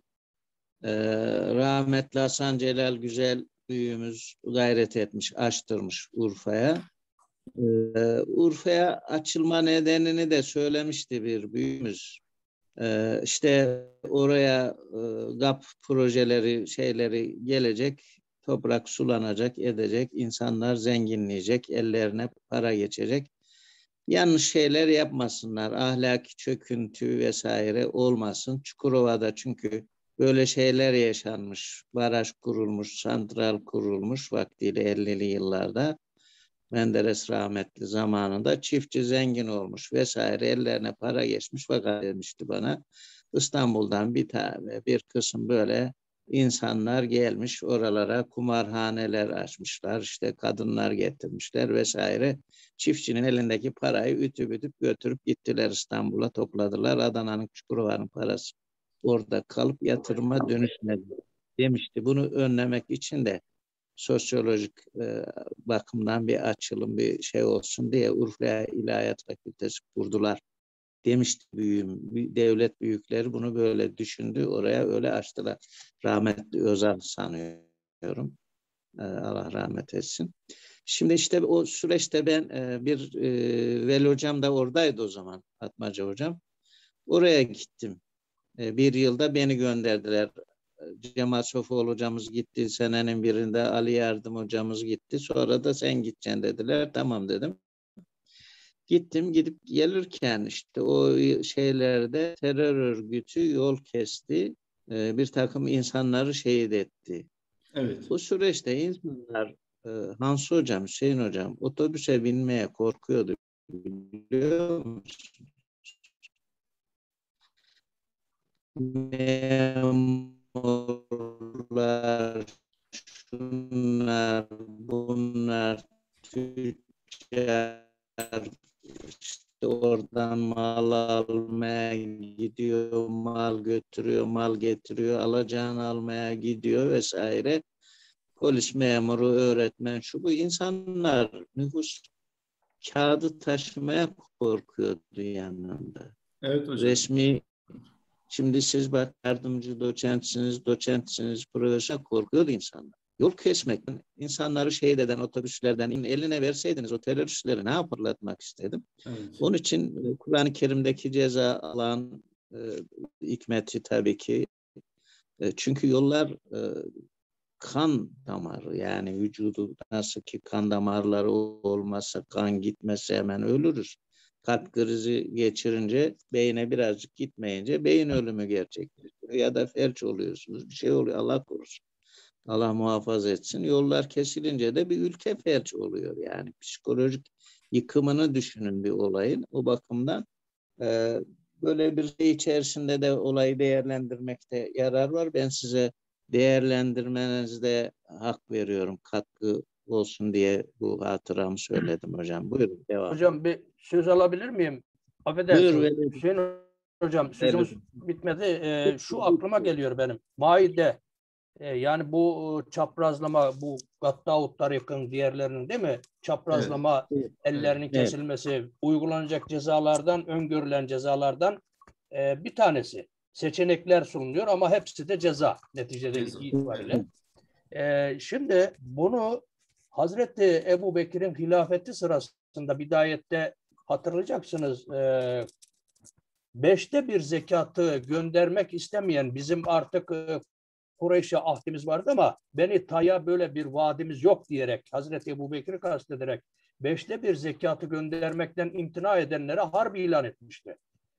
E, dolayısıyla o bana bir yuları Resulullah'a verdikleri e, deve yularını veya oğla e, göndermezlerse e, ben onlarla harp ederim derken ki o göndermezlerse dediği kamu malı. Evet. Çünkü fakir fukaraya harcanacaktı netice itibariyle. Develer de kamu malı, zekat malı. Evet. Dolayısıyla kamu malını gasp edenlerle kamu malının güvensizliği, güven tehlikesiyle kamunun can güvenliği ayette zikredilen herhalde Resulullah orada e, kendisi bir mukayese yaptı. Birini diğerine e, benzeterek. Ee, benim kanaatim zihnimde böyle bir şey tebellür etti. Yani kamu kamu güvenliği, kamunun can güvenliği ve mal güvenliği e, tehlikedeyse cezası aynı gibi geliyor. Çok haklısınız hocam. Ee, katkılarınız hem Ali Osman hocam hem sizin katkılarınız için teşekkür ediyorum. Ben bir iki cümleyle bağlayıp diğer arkadaşlarımdan da sözü haklarını şey yapmak istemiyorum. Gasp'ten bahsederken biz de gasp yapmayalım. Gerçekten biz e, hadis ve sünneti çoğu zaman bireysel olarak değerlendirdiğimiz için bu tür yanılgılara düşüyoruz. Orada açık bir şekilde ayet-i kerimede e, Allah ve Resulüne harp açanlar demek. Allah insanı harp açabilir mi? Hayır. Kamuya harp, devlet otoritesine, e, kamuya harp açmak demektir. Karşı gelmek demektir. Ve bu sadece o dönemdeki İslam devletiyle sınırlı bir şey değildir. Bugün de böyledir. Yani şimdi diyelim ki Çukurova bölgesi dedi ki biz devlete vergi vermiyoruz. Devlet ne yapar bunlara? Önce usulen bir şey yapar yani bir uyarır. E, vermezlerse aynı şey yapacaktır. Yani çünkü otoriteyi tanımıyor. E, bütün dünyada böyledir yani. E, kamusal açıdan düşündüğümüzde dolayısıyla hem Hazreti Ebubekir'in tavrının hem de Hazreti Peygamber'in devlet güvenliği, yol güvenliği ile ilgili bu tedbirinin yerinde olduğunu düşünüyorum. Ee, bütün hocalarımıza teşekkür ediyorum. Burada bitirmek istiyorum. Hocam bu Maide 33 ile ilgili bir şey söyleyebilir miyim? Ha, buyurun hocam. Buyurun. buyurun. Bu Maide 33'ün e, normalde Peygamber Aleyhisselam'ın e, bu olay sırasında e, müsle yaptığı ve aşırıya gittiği e, dolayısıyla e, Peygamber Aleyhisselam'a bir muhataba olarak yani hitap olarak geldiğine dair Leys bin Saad'den bir rivayet var. E, Süddi'den var. E, bunun da dikkate alınması gerekir bu değerlendirmede. Yani normalde Peygamber Aleyhisselam'ın e, buradaki bu gözlerine mil çekmesi hadisesi Ayette yok e. Susuz bırakması, çöl atması. Susuz bırakması vesaire. Bununla ilgili aslında bu ayet-i kerimede e, yani verilecekse bu cezalar verilmeli. Daha fazlası verilmemeli anlamında bir şey olduğuna dair de bilgiler var. Onu da Peki yani sizce, sizce hocam, Mehmet hocam, peygamberimiz böyle bir ceza uygulasaydı, uygulamak isteseydi müsteyi, bunu her şeyden önce Uhud'da kendi amcasına bu yapıldığı zaman orada uygulaması gerekmez mi? Doğru ama işte oradaki durumu bilemiyoruz. Evet, yani, yani tam tespit etmeden bilemiyoruz. Normalde e, kaynaklarda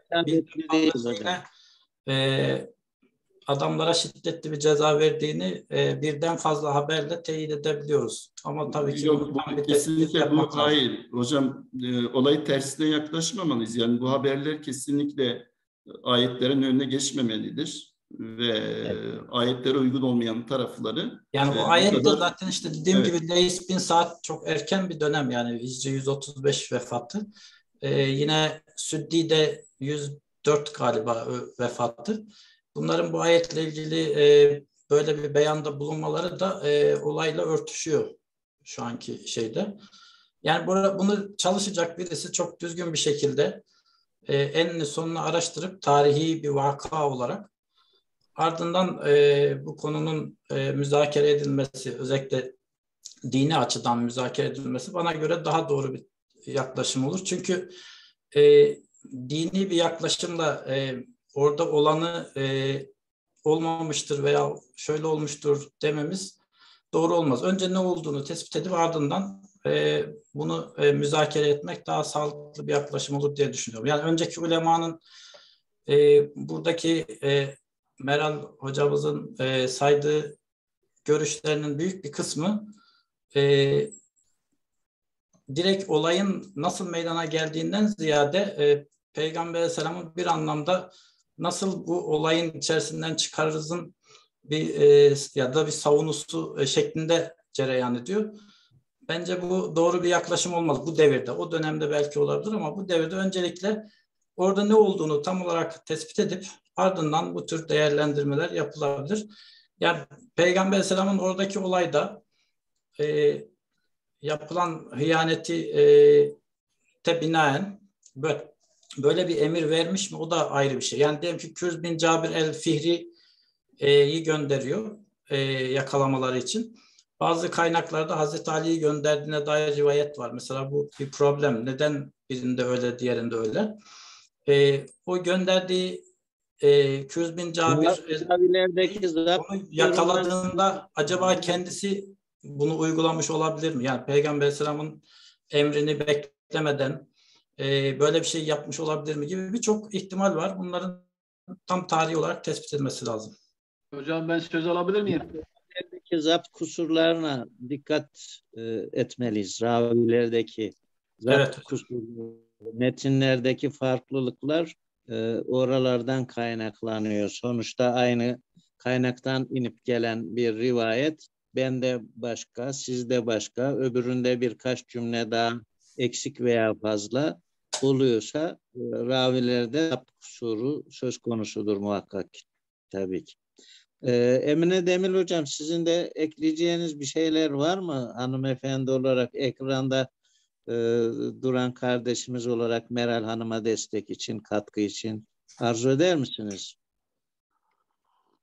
Ben de bütün hocalarıma hayırlı akşamlar diliyorum hocam. Herkese hürmetle selamlıyorum. Ee, yani hocamızın sunumu gayet e, temel kaynaklardan istifade edilerek hazırlanmış. Yani rivayet hem hadis bağlamında hem tarihi bağlamda güzel bir sunum oldu. Yani ifade konusunda Ureyni e, kabilesinin ben e, yaptığım araştırmalarda Yemen tarafındaki bir kabile e, olduğunu bu anlamda ifade edebilirim. E, ve Medine'ye gelerek Müslüman olduğunu söyleyerek Hazreti Peygamber'i ya- biat ederek e, biat etmek üzere geldiklerini ifade etmek mümkün. Geldikleri sırada esasında hastalanıyorlar Medine'nin o e, havasından dolayı. E, ve hastalıkların artması üzerine de Medine havasının kendisine ağır geldiğini söyleyerek Badiye'ye çekilmek istediklerini dile getiriyorlar. E, ben benim genel kanaatim hem tarihi kaynaklar hem hadis kaynaklarını birlikte değerlendirdiğimizde deve sütüyle beslenmeleri e, ifadesinin daha çok geçtiğini görüyoruz rivayetlerde. Yani bu anlamda Hazreti Peygamber'in onları deve sütüyle beslenmeleri ve sağlığına kavuşmaları için oraya gönderdiğini ifade etmek mümkün. E, yani bu anlamda ben idrar meselesinin biraz daha geri planda olduğunu ifade etmek isterim burada. E, yani burada hocamız çok güzel ifade ettiler. Yani Hazreti Peygamber'in burada yani böyle bir cezayı uygulamasını istemesinin en temel sebebi bu develerin zekat e, yani develeri olması e, dolayısıyla da kamuya verilen bir zararın e, bu şekilde cezalandırılması olarak e, değerlendirilmesi mümkün. Şimdi uygulanan ceza ile alakalı ben kıyasın daha uygun olduğunu düşünüyorum açıkçası. Çünkü alimler de bu konuda biraz müsteye biraz temkinli yaklaşmışlar. Kıyas üzerinde daha fazla e, durduklarını görüyoruz. Hem tefsir kaynaklarında hem de e, fıkıh kaynaklarında kıyasın daha çok vurgulandığını görüyoruz. E, yani bu anlamda yani rivayetin ben tarihi bir boyutunun daha ağırlıklı olduğunu düşünüyorum. Fıkhi bir boyutundan ziyade tarihi bir boyutunun ön planda tutulması gerektiğini ifade et, etmek gerekiyor. Yani esasında bu Hazreti Ali rivayeti çok zayıf. E, Kürz bin Cabir el-Fihri'yi gönderdiği rivayet genel olarak genel e, olarak bahsediliyor.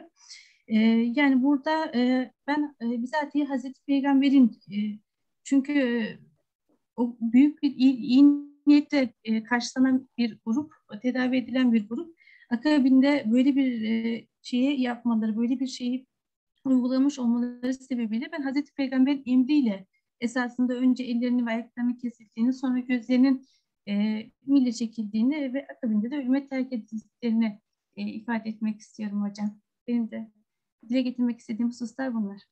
Allah razı olsun. Ahmet Ürkmez Hoca mesaj gönderdi ama sesli olarak da katılabilir. Ürkmez Hocam var mı katkınız? Duyuyor musunuz bizi? E, gitti herhalde hocam. Çıktı.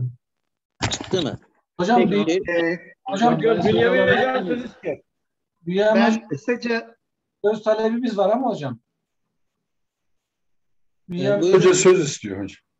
Buyurun üstadım. Hocamız.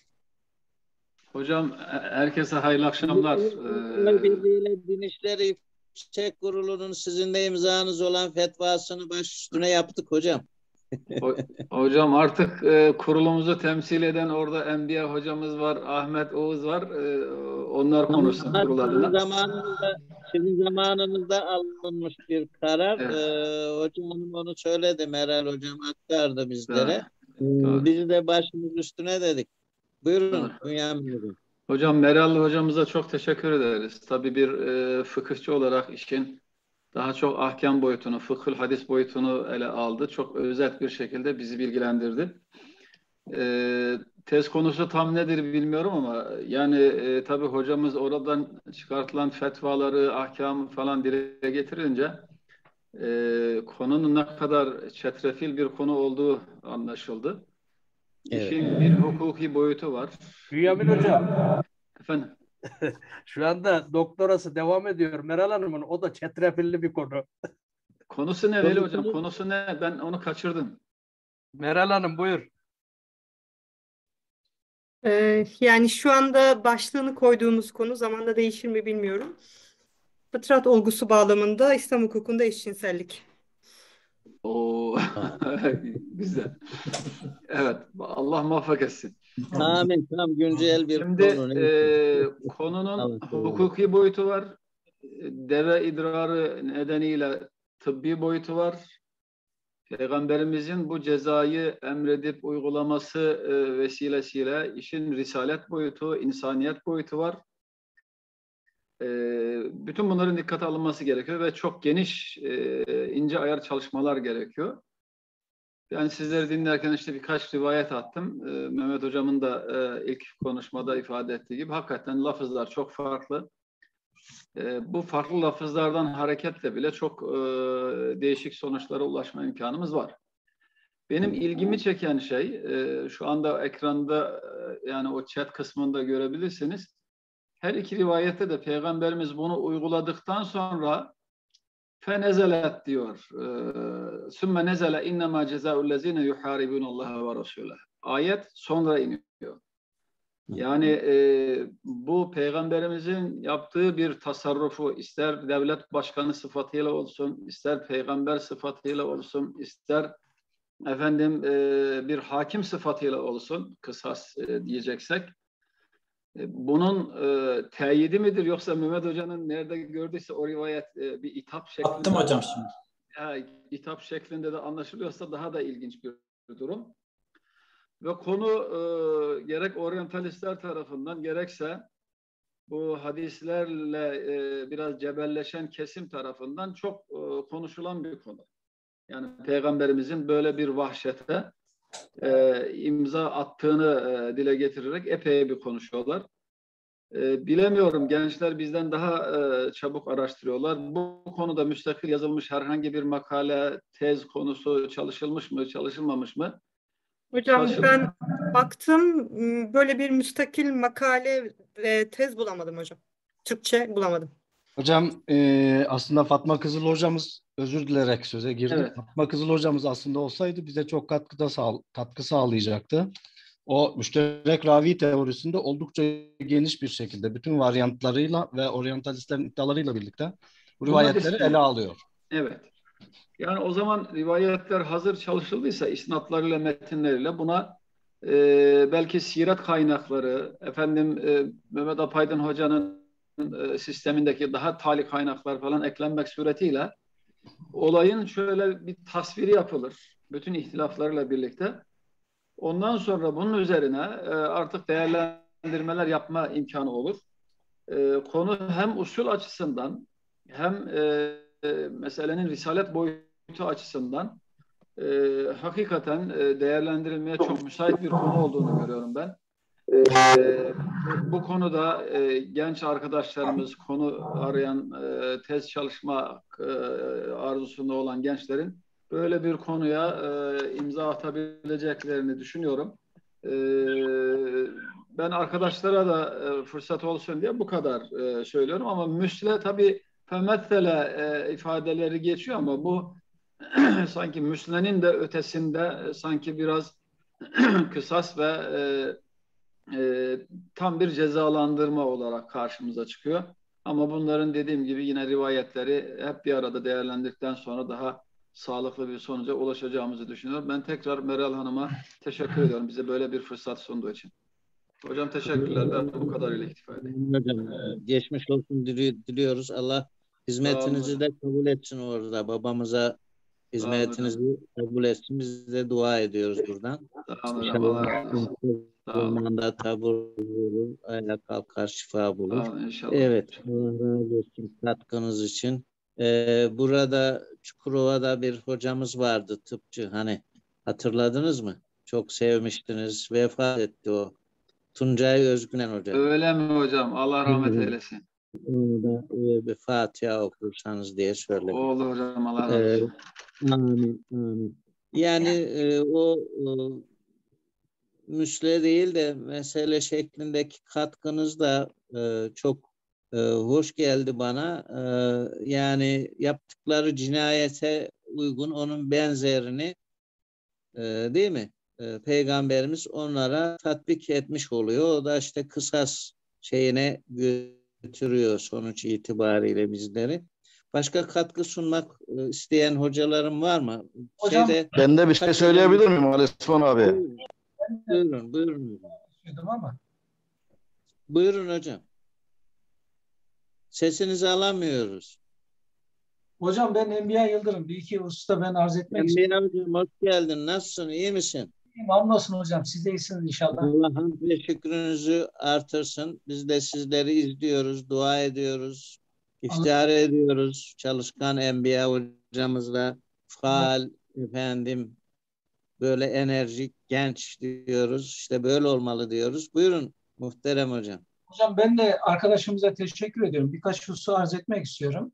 Öncelikle şunu ifade edeyim hocam. Bu tıpla ilgili hadisler arkadaşlarımızın bir kısmı de, e, değindi ama öyle e, çok yüzeysel ele alınmış bir husus değil. Bizim hadisçiler özellikle Şah Veliullah Dehlevi de dahil olmak üzere bu Hazreti Peygamber Aleyhisselam'dan tıpla ilgili gelen hadislerin hangi kategoride değerlendirileceği hususunda çok tartışmalar var hocam. Yani bir doktora düzey yani çok derinlikli bir tartışma konusudur. Yani bunlara vahiy olarak bakanlar var. Bir kısmı vahiy, bir kısmı kendi düşüncesi gibi farklı yaklaşımlar var. O yüzden konunun çok e, tartışmalı ve derinlikli bir konu olduğunu söylememiz öncelikle gerekiyor. Bunu ifade ettikten sonra şunu ifade etmek isterim. Hocam ben e, bu konuyu televizyon programım benim devam ediyor. Bu dönemde ben bunu da ele alacağım bu hadisi özellikle cevaplamak için. Ama burada şunu ifade etmek isterim. Benim görebildiğim kadarıyla Hazreti Peygamber Aleyhisselam'ın bilgi alanını yani nübüvvet görevi dışında Peygamber Aleyhisselam'ın konuşma alanlarını insanlarla olan ilişkiler noktasında ben beş bölümde bunları toparlamanın genel hatlarıyla mümkün olduğunu düşünüyorum. Bunlardan birincisi hocam ziraat, ikincisi ticaret, üçüncüsü hayvancılık, dördüncüsü, dördüncüsü tıp, beşincisi de gök cisimleri. Şimdi bu konularla ilgili olarak Hazreti Peygamber Aleyhisselam'ın bilgi birikimine baktığımız zaman değerli kardeşlerim, Peygamber Aleyhisselam'ın ticaret, hayvancılık e, ve gök cisimleriyle ilgili olarak kendi dönem şartları içerisinde çok iyi bir düzeyde bilgiye sahip olduğunu rahatlıkla söyleyebiliriz. Yani rivayetler bize bunu gösteriyor. Ama ziraat hususunda bunu söylememiz biraz zor. Ticaret hususunda Peygamber Aleyhisselam'ın iyi bir birikime sahip olduğunu görüyoruz. Şimdi bu rivayetlere baktığımız zaman ashab-ı kiram özellikle bu Kur'an ile rivayeti de dahil olmak üzere bunlar nasıl değerlendirilmiş diye baktığımızda hadis kitaplarında Veli Hocam daha iyi bilecektir. Hocam bunları böyle bir mucize başlığı altında değerlendirmiyor ashab-ı kiram. Yani bunlar sanki o toplumun e, işleye durduğu, uygulamış olduğu meselelerden biri olarak yani bir mucize olarak bakmıyor. Bir kere sahabilerin ve bizim hadis kitapları sahiplerinin bunları konumlandırmış olduğu başlıklara ve altına baktığımız zaman bunları Hazreti Peygamber Aleyhisselam'ın hayatının bir parçası ama bir mucize olarak görmediklerini çok kesin bir şekilde söyleyebiliriz. Şimdi ama burada şu var. Ee, şimdi ben geçen de bir Bevliyeci profesör hocamızla da bu konuyu e, tartışmıştık, konuşmuştuk. Hocam olayın şöyle bir boyutu var. Belki bizim e, gözümüzden kaçırdığımız. Esasında bu Doğu Türkistan'dan tutun da hocam Hindistan ve Arap coğrafyasında, Arap coğrafyasında uygulanan bir yöntem. Yani ashab-ı kiramın anlatımından da biz bunu anlıyoruz. Peygamber aleyhisselam sıfırdan bir tedavi yöntemi ortaya çıkarmış değil. Bunu o coğrafya insanı biliyor hocam. Hatta bizim o tıp profesörü, e, Bevliye uzman olan hocamızın dediğine göre bugün bile Doğu Türkistan'da bu affedersiniz bu tedavi yönteminin uygulandığını hocamız ifade ediyor. Yani uygulanan şu anda da uygulanan bir şeydir. Şimdi dolayısıyla bu rivayete bakarken tabii fıkıhçılar Hazreti Peygamber Aleyhisselam'ın hadislerini böyle fıkıh açıdan değerlendirdikleri için bunu fıkıh noktasında tartışacaklardır. Bunlar gayet tabii bir şey olamaz. Ama biz Hazreti Peygamber Aleyhisselam hadisçiler olarak böyle bir hani tren garlarında, havaalanlarında böyle otomatlar olur. Atarsın parayı alttan yukarıdan sana ne istediysen onu aşağıdan çıkarır. Peygamber Aleyhisselam'ın her rivayetini böyle bir fıkıh otomatına veya bir kelam otomatına dönüştürmekten ziyade Hazreti Peygamber Aleyhisselatü Vesselam'ın bir devlet başkanı olması hasebiyle de hocam toplumun önünde bir insan olması nedeniyle de toplumun karşılaşmış oldukları sorunlara çözüm üretmek durumunda olduğunu görmemiz lazım. Yani bunların her birinde mutlaka böyle bir dini bakış açısı aramak benim kanaatimde uygun değil. Şundan dolayı uygun değil. O dönemlerdeki insanlar o hocanın ifade etti. Karın şişkinliği için böyle bir tedavi yöntemi uyguluyorlar. Kaldı ki değerli arkadaşlar cahiliye şiirlerine baktığımız zaman şimdi e, onu çıkaramadım yani aklıma gelmedi. Cahiliye şiirlerine baktığımız zaman cahiliye şiirlerinden de biz hastalarımız için develerin idrarlarını tencerelere koyarız, kaynatırız ve hastalarımıza içiririz. Bu şiirlerde geçiyor. Yani o coğrafyada uygulanan bir tedavi yöntemidir. Şimdi Hazreti Peygamber Aleyhisselam'ı bir devlet başkanı olarak düşündüğümüzde önüne böyle hastaların geldiğini farz edelim. Ve o dönemde de insanlar bu tip hastalık içinde böyle bir tedavi yöntemi uygulandığını biliyorlar. Peygamber Aleyhisselam şimdi bu tavsiyeyi yapmamış olsaydı ve bu adamlar da ölüp gitseydi burada Hazreti Peygamber Aleyhisselam'ın karşılaşacak problemi lütfen göz önüne getirmemiz lazım.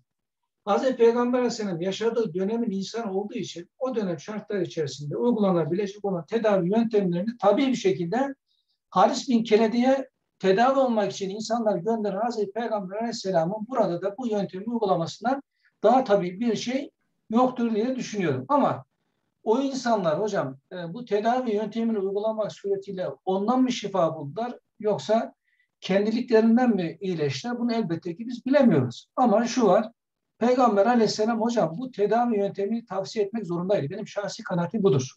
Eğer o adamların başına bir şey gelmiş olsaydı bunlar Hazreti Peygamber aleyhisselam en azından bir eleştiriye maruz kalabilirdi. Şimdi Hüseyin hocam söyledi. Mesela Hazreti Peygamber aleyhisselam ahsenu ma tedavetun bir erkeği sizin en güzel tedavi yönteminiz dağlamaktır diyor. Hacamatı Peygamber Aleyhisselam haçta umrede kendisi uygulamış. Yani Peygamber Aleyhisselam sıfırdan hiçbir şey icat etmiş değil. Bunlar bu çerçevede değerlendirecek, değerlendirecek olursak Hüseyin Hocam'ın da ifade ettiği gibi bunun üzerine bir din bina etmezsek hocam yani bu Hazreti Peygamber'in tedavi yöntemidir. İşte bu sünnettir. Bunu kıyamete kadar taşıyacağız. Diyen arkadaşlara ben her zaman şunu tavsiye ediyorum. Madem o kadar çok bunları sünnet olarak görüyorsunuz, hepiniz tuvaletlerinizde birer küfe içinde taştan dolduracaksınız ve bundan sonra tahareti taştan yapacaksınız. Ama hep taşlarla yapmamış hocam ya. Suyla da yapmış. Su azdır hocam. Yani malum biliyorsunuz oranın şartlarını. Ya dolayısıyla ee, diyeceğim. Enbiya hocam. Ee, çok güzel bir e, açılım getirdiniz. Şunu ben bir cümle eklemek isterim. Yani din olarak tıp peygamberimizin tıp konusundaki buyrukları din ilişkisi bağlamında. Peygamberimiz e, ahlak önderi malum ki e, tıp tıbba da tıpçılara da tıp ilmine ilmine de ahlaki açıdan e, getirdiği prensiplerle tavsiyelerle önderlik ediyor. Oraya o şekilde müdahalesi var. E, bunu da hatırıza getirmemiz gerekir diye düşünüyorum hocam.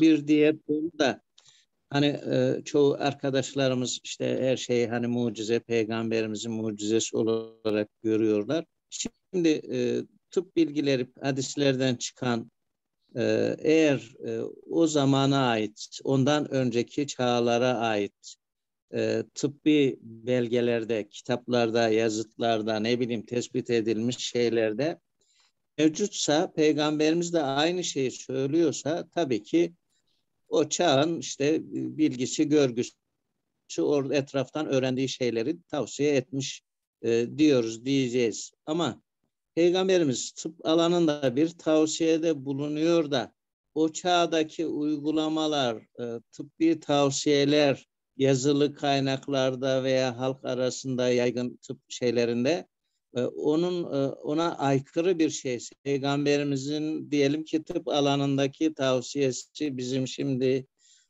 tıbbın kesinleşmiş diyelim ki verileriyle 21. asırda örtüşüyorsa, aynıysa, yaşadığı çağda ise o konuda tam tersi bir anlayış tavsiye varsa, e, peygamberimizin bu bilgiyi nereden alacağına e, kanaat edeceğiz. Tabii ki vahiy kaynaklı deriz. Çünkü peygamberimiz çağında bilinmeyen ancak bizim çağımızda keşfedilmiş, bilinmiş, uygulanmış bir şeyi söylüyor. Ha buna örnek var mı? Bilmiyorum. Belki çıkar araştırırsa arkadaşlarımız böyle bir örnekle o çağda işte tam tersi söylenilen ama peygamberimizin de günümüzdeki uygulamalarla örtüşen tavsiyesi diye tespitlerde de bulunabilir. Yani teorik bağlamda söylüyorum yani bunu. Hocam şunu Evet. sizin sözünüze. Hocam şimdi Hazreti Peygamber Aleyhisselam'ın tıbbi teda- e, tıbla tedavi veya tıbbi nebevi dedikleri ki ben bu ifadeyle karşıyım. Evet. Peygamber Aleyhisselam'ın uygulamış olduğu tedavi yöntemleri hocam 43 tane. Bizim kaynakları tespit ettik. Yani bal, işte hacamat, ne bileyim hocam aklınıza ne geliyorsa ismi vesaire bunların hepsi 43 başlıkta toplanıyor. Bunlar, bunlardan 42 tanesi cahiliye döneminde uygulandığı tespit edilmiş. Sadece bir tane mantarla tedavi bunu cahiliye döneminde bulunamamıştır. Biz 42 tanesi madem cahiliye döneminde uygulanıyor idi bu bir tanesini de ona katmak suretiyle 43'ünün de hepsinin öncesinin mahsebakın olduğunu hocam tespit edebiliyoruz. Yani görüyoruz yani rivayetler, kaynaklar bize bunu bu şekilde önümüze koyuyorlar. Dolayısıyla bunun üzerinden hocam böyle bir e, dini boyut bir şey çıkarmaya çalışmak kanaatimce hocam bizi zorlar. Şunun için zorlar. Bu rivayetlerin önemli bir kısmı hocam bizim sahih ve muteber hadis kitapları olarak değerlendirdiğimiz Buhari, Müslim gibi kitaplarda geçiyor hocam. Şimdi dolayısıyla bunların bir kısmı ile ilgili problemler söz konusu olursa o zaman büyük riske gireriz. Dolayısıyla şu genel ifadeyi kullanmak kanaatimce e, hepimizi kurtarır hocam. Yani hem de rivayetleri kabul etmiş oluruz. Hazreti Peygamber Aleyhisselam'ın gönderiliş amacı hocam tabiplik, tababet değildir. Yani Hazreti Peygamber Aleyhisselam risalet için gönderilmiştir dersek kanaatimce bütün problemler çözülür hocam. Orada hepimiz müttefik e, Enbiya hocam. O, Hocam o- orada bir, hep bir şey söyleyebilir miyim ben? Evet. Vel hocam siz mi söz istiyorsunuz? Zişan Hocam- Tüncü. Zişan hocam buyurun. Hocam ben ev sahibi olarak susuyorum. Biraz sonra Zişan Ya. hocamdan sonra inşallah. Zişan hocamdan sonra olursa ben de bir söz almak istiyorum değerli hocam. e, yani tıbbın e, tıbbın kaynağı Hazreti Adem olduğuna göre Hazreti Adem'e de Allah tarafından verildiğini düşünüyorum ben. o yüzden de e, tıp bilgileri de dini nitelikli diyorum. Bünyamin hocam takılıyorum size. Evet. Evet, e, Zişan hocam buyurun. Ee, hocam e, Hüseyin hocam da Enbiya hocam da çok güzel bir çerçeve çizdiler. Aşağı yukarı herkes aynı kanaattedir zaten o konuda diye düşünüyorum. Ee, biz bunu modern dönemde rahat söylüyoruz da e, yani ben de aynı kanaatteyim. O başka bir şey. Ama mesela bütün şarihler, bütün fakihler tarih boyunca bunu söylememişler. Mesela Peygamberimiz doğru e, o dönemin kültüründe olan şeyi uyguluyor. Evet. Ama şöyle bir anlayışla hareket etmiş onlar. Yani peygamberimiz bir şey uyguladıysa artık o öncekilerin adeti uygulaması değil. O peygamberin uygulaması. Takriri sünnet anlayışıyla da biraz hareket ediyorlar. O eski bir şey olarak kalmıyor. Onları zorlayan böyle bir durum var. Yani dini bir boyutu e, tıbbın tabii olmaması gerekir. Pek çok konuda olduğu gibi. işte biraz önce hocam saydı. Ziraattir, ticarettir vesaire. Temel ilkeleri dinidir. Doğru. Ee, ama diğer taraftan da mesela necis olan bir şey idrar. Bunu tartışıyorlar. E necisse tedavi yapacak mıyız? Fakihin böyle bir sorunu oluyor. Mesela eşek sütünün şifasına dair bir sürü bir şey çıktı son yıllarda. E bu caiz mi değil mi? Bunu soruyorlar mesela. Şimdi biz tedavi yöntemlerinin hiçbir boyutu dini değildir dersek büyük oranda doğru gibi ama bu tür sorular da var. Bunlara da cevap verilmek gerekiyor. Çünkü fıkhi problemler üretiyor bu. Ee, gelenekteki alimleri zorlayan şeyler de büyük oranda bunlar. Tabii hadise bakışları falan da biz, e, biraz modern döneme göre biraz daha değişik. Onlar ayrıca konuşulmalı ama e, aslında biz bu genel çerçeveyle e, genel bakışla hareket ettiğimizde bizi ikna ediyor. E, ama e, diyelim ki bir insan idrar içerek tedavi olduğunda biz buna caiz diyecek miyiz? Diyecek miyiz? Ya da eşek sütüyle tedavi Yani olduğunda formatın farklı buna şey diyecek miyiz? Böyle bir sorun var yani. Hiçbir zaman fıkıhtan ki o da dinidir bu yönleriyle çünkü günah mı değil mi bunu tartışıyoruz. Ee, O uhrevi bir şeye ilişkili bir durum var. Ee, aslında bütünüyle de kurtulmuş değiliz. Enbiya hocam kurtarmaya çalıştı ama ben hala kurtulamadım yani. Zişan Hocam e, teşekkür ederiz. E, güzel katkı sundunuz. Allah razı olsun. E, Bünyamin Hocam, Veli Hocam oraya mesaj attı. Gördünüz mü siz de? Gördüm Hocam, ben e, Nihat, Nihat- hocamı tekrar davet ettik. Nihat Baba'yı Tamam. görmek istiyoruz hocam. Tamam. E, Er- Erzurum, Erzurum özledik. Veli Hocam siz mi şey yapacaksınız? Evet hocam müsaade ederseniz bir iki kelam edeyim ayrılmadan önce. Hoş geldiniz hocam. Hoş Allah geldiniz. razı olsun. Hürmet ediyorum kıymetli hocam. Cümleye selamlar, saygılar. Olsun, Sunum sahibi e, kardeşimize de e, teşekkürlerimi arz ediyorum. Kardeş bizim burada kalifeler yani benim ayaklarım gene burada üşür ama siz de uzattıkça uzatıyorsunuz. Bir bırakın da biraz da e, Ee, Ben Hocam- gördüm zaten kazak falan giymişsin takılacaktım biraz. Allah sizlerinde, Hocam, biz- batta, yani- sizlerinde battaniye var hocam. Evet kıymetli hocalarım tabi aslında ben şunu demek istiyorum. O döneme yönel ki zaten bütün görüşler oraya e, odaklandı. O döneme bakıp konuştuğumuzda, tartıştığımızda bir problem yok. Ama onu günümüze taşırken problem çıkıyor. Yani bu konuyu gündeme getirip kabartmanın bir faydası yok ki. Burada zaten birçok şey dile getirildi. Bu Hazreti Peygamber Efendimizin e, herkese e, tavsiye ettiği illa bu bir ilaçtır için dediği bir konu değil. Nitekim zaten malum sütle karıştırarak o dönemde bunun ilaç niyetiyle kullanıldığı e, arz edildi burada. Dolayısıyla aslında günümüzde bu konuları tartışmayı biz herhalde şey yapamıyoruz yani. E, beceremiyoruz mu diyeyim, nasıl diyeyim. E, buradan problem çıkıyor. Yoksa orada bir problem yok. Kıymetli Hocam, hocalar. Ben o arz etmek istiyorum. Muhterem hocam, aramızda kalması gereken şeyleri kamuoyuna taşıyoruz. Yani Ya. e, avam, avamın böyle tartışmalardan korunması falan ulemanın arasında kalması gereken meselelerin o arada kalıp onu, onu biz kaybettik hocam. O Maalesef hocam. Gerçekten öyle evet. Yani yoksa biz bunu oturup kendi aramızda konuşsak tartışsak hiçbir problem yok. Ama bunu e, masaya taşıdığımızda işte de, arz ettiğiniz hani Allah'a sığınırım o ekranlardan. Ekranlarda e, ulu orta her şeyi getirdiğimizde tartıştığımızda insanların kafası karışıyor. Ne yapacaklarını bilemiyorlar ve bu defa Hazreti Peygamber'in sünnetini, e, hadisleri e, anlay- anlayamadıkları için konuyu tartışmaya açıyorlar ve burada problem çıkıyor diyorum ben. Tekrar hep, e, hocalara kızıyorlar. Bize de güvenmiyorlar o yüzden. ya, Kızıyorlar. ma- maalesef o biz de Herkese alıyoruz oradan hocam. diyorlar. Hangisine bakacağız diyorlar. Ben de diyorum ki Diyanet İşleri Başkanlığı'na bakın diyorum. Ne yapayım? Evet hocam. Nihat hocam, Kıymetli hocam. Nihat Efendim? hocam bu bağlamda Erzurum'dan anlatacağın hiçbir şey yok mu ya? Yorulduk. Yani evet. Erzurum'dan ne anlatayım Bünyamin, Bünyamin hocam biliyorsunuz yani e, biraz e, hemen anlat dediğinizde olmuyor. For, formunda olmak lazım. Ne bileyim bir sebep olması lazım ki anlatayım yani. Peki hocam. Nihat abi. Evet, Allah razı olsun. Başka kisme yok mu falan diye anlatırdın ya hocam. E- efendim? Başka kisme yok mu falan diye duymayan arkadaşlarımız vardır. Onlara da anlatabilirsin. Evet, evet hocam. Başka kisme yok mu demiş. Hani kuyu Ha düşmüş tamam de. evet evet tamam. Bizim e, Erzurumlu e, akşamcı birisi eve dönerken tabii kafa iyi çukura düşüyor.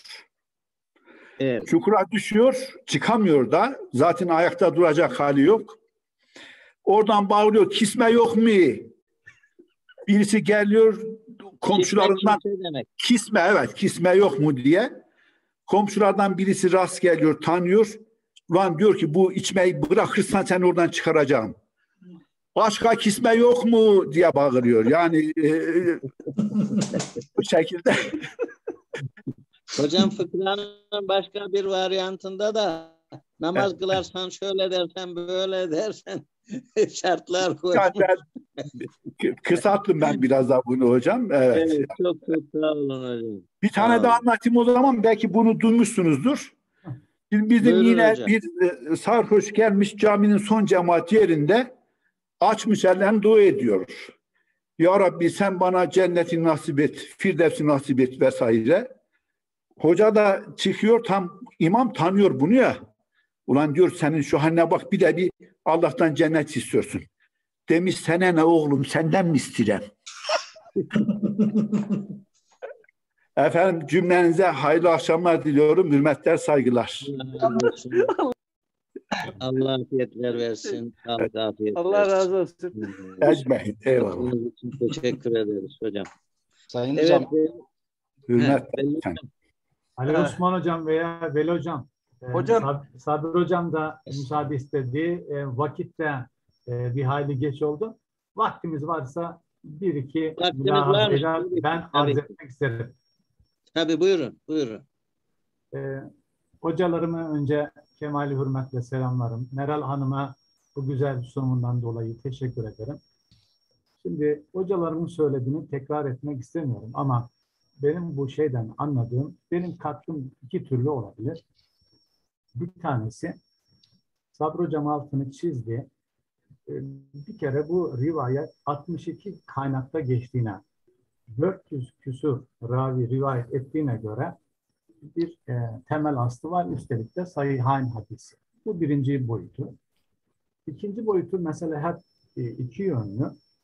İmamların, e, Enbiya hocamız dikkat çektiler. E, peygamberlerin e, bu bilgilerinin, tıp bilgilerinin kaynağı nedir? Vahiy mi, vahiy gayri mehdum mu veya işte çevresinden edindiği zamanın tıp bilgileri midir? Meselesi alimler arasında da tartışılmış. Ama son e, kertede e, bir kısmının vahye müstenit olabileceği de belirtilmiş. Şimdi bu e, Şia'da da böyle imamların tıbbının öğrenmeye dayanmadığı, kendilerine Hazreti Peygamber'den tevarüs eden ilimle olduğunun altı çizilir. Memun, İmam Ali Rıza'ya bir tıp kitabı yazmasını tavsiye etmiştir. O da böyle bir eser yazmış. Adı aklımda değil. Sonra Cafer-i Sadık bizim tıbbımız e, okumaya e, ve çevreden edindiğimiz, edindiğimiz bilgiye dayanmaz e, diye vurgular. Yani bunu ben savunduğum için söylemiyorum. Böyle bir temeli olduğunu anlatmak için söylüyorum. Bizim kaynaklarımızda da işte Lokman Hekim'e e, hepimizin malumu işte çiçeklerin e, bazı bitkilerin e, dile geldiği ben şu hal diliyle şu hastalığa şifayım gibi e, bir takım rivayetler yer alır. Dolayısıyla işin böyle bir e, ilahi boyutu, e, lahuti boyutu da var. Ona dikkat çekmek istedim. E, ikinci e, husus, e, kıymetli hocalarım, şimdi tabii mesela çok yönlü olarak e, tartışılıyor. E, burada Ali Osman hocamız dikkat çekti. Acaba modern tıpta bu nedir? Yani biz şimdi kalkıp bunu bu çağda tavsiye edecek değiliz ama e, bilim dediğimiz şey malum deneyle konuşulur, e, deneyle e, delil getirir, ona dayanır. 2012 yılında King Faisal Special Hospital ve Research Center denen yerde moleküler onkoloji bölümünde bir araştırma yapılmış. Bu araştırma Journal of Ethnoformology e, dergisinde de yayınlanmış. Buna göre bu af buyurun deve idrarında bir takım antikanserojen ajanların bulunduğu ve bunların da bu ciğerdeki, karaciğerdeki e, bir takım kötü hücreleri temizlediği tespit edilmiş. Öte taraftan işte Dünya Sağlık Örgütü de Orta Doğu'da böyle e, bu deve idrarından bir hocamız Türkistan'da yaygındır dedi. Ondan bulaşan bir hastalıktan, bir sendromdan da söz ediyor. Tarihi süreçte kıymetli hocalarım bu e, ibn Sina olsun, efendime söyleyeyim, e, Kemalettin Demiri olsun, Davud-u Anteki olsun, bu deve idrarının ne tür hastalıklarda kullanıldığına dair kitaplarında bilgi nakletmişler. Yani bu mesela e, sadece aslı saadette değil, ilerleyen dönemlerde de hep gündemde olmuş. E, işte orada demişler ki karaciğerdeki e, efendim tümörleri e, yok ettiği, o bir takım şişkinlikleri indirdiği, ibn Sina haşrem denilen bir hastalıkta kullanıldığı hususunda bize bilgiler nakletmiş. E, Meral Hanım olsun, bazı hocalarımız olsun, tıpta da e, şey e, tıp diyorum, fıkıhta da bunu e, alimler, müştehit imamlarımız tartışmışlar. İşte Hanefi ve Şafiler bunun necis olduğunun altını çizmişler. Efendim Hanbeliler ise farklı düşünmüşler. Sonra necis olan bir şey e, tedavide kullanılabilir mi meselesi tartışılmış. Haramla tedavi olmayınız. Haramda şifa yoktur hadislerine binaen e, bunun caiz olmadığını savunanlar çıkmış. E, Şafilerden olsun. Ebu Hanife mesela bu görüşte ama Ebu Yusuf farklı düşünüyor. Beri taraftan bu metni e, tamamen necis olan bir şey nasıl hadis olur, bu tedavide olur diye ismini zikretmeyin bir hocamız vakti zamanda Diyanet İşleri Reisi de yapmış. Bu hadisi tamamen reddetmiş. O zaman meselenin ben hadisin o birinci kısmı ile ilgili söyledim. E, burada Apaydın hocamız da hadisin farklı varyantlarına temas etti. Ama e, en e, son noktada İmam-ı Serahsi mesela e, aynen Apaydın hocamızın dediği gibi e, o da böyle bir şeyin tedavide kullanılmaması gerektiğini söylüyor İmam-ı e, Serahsi.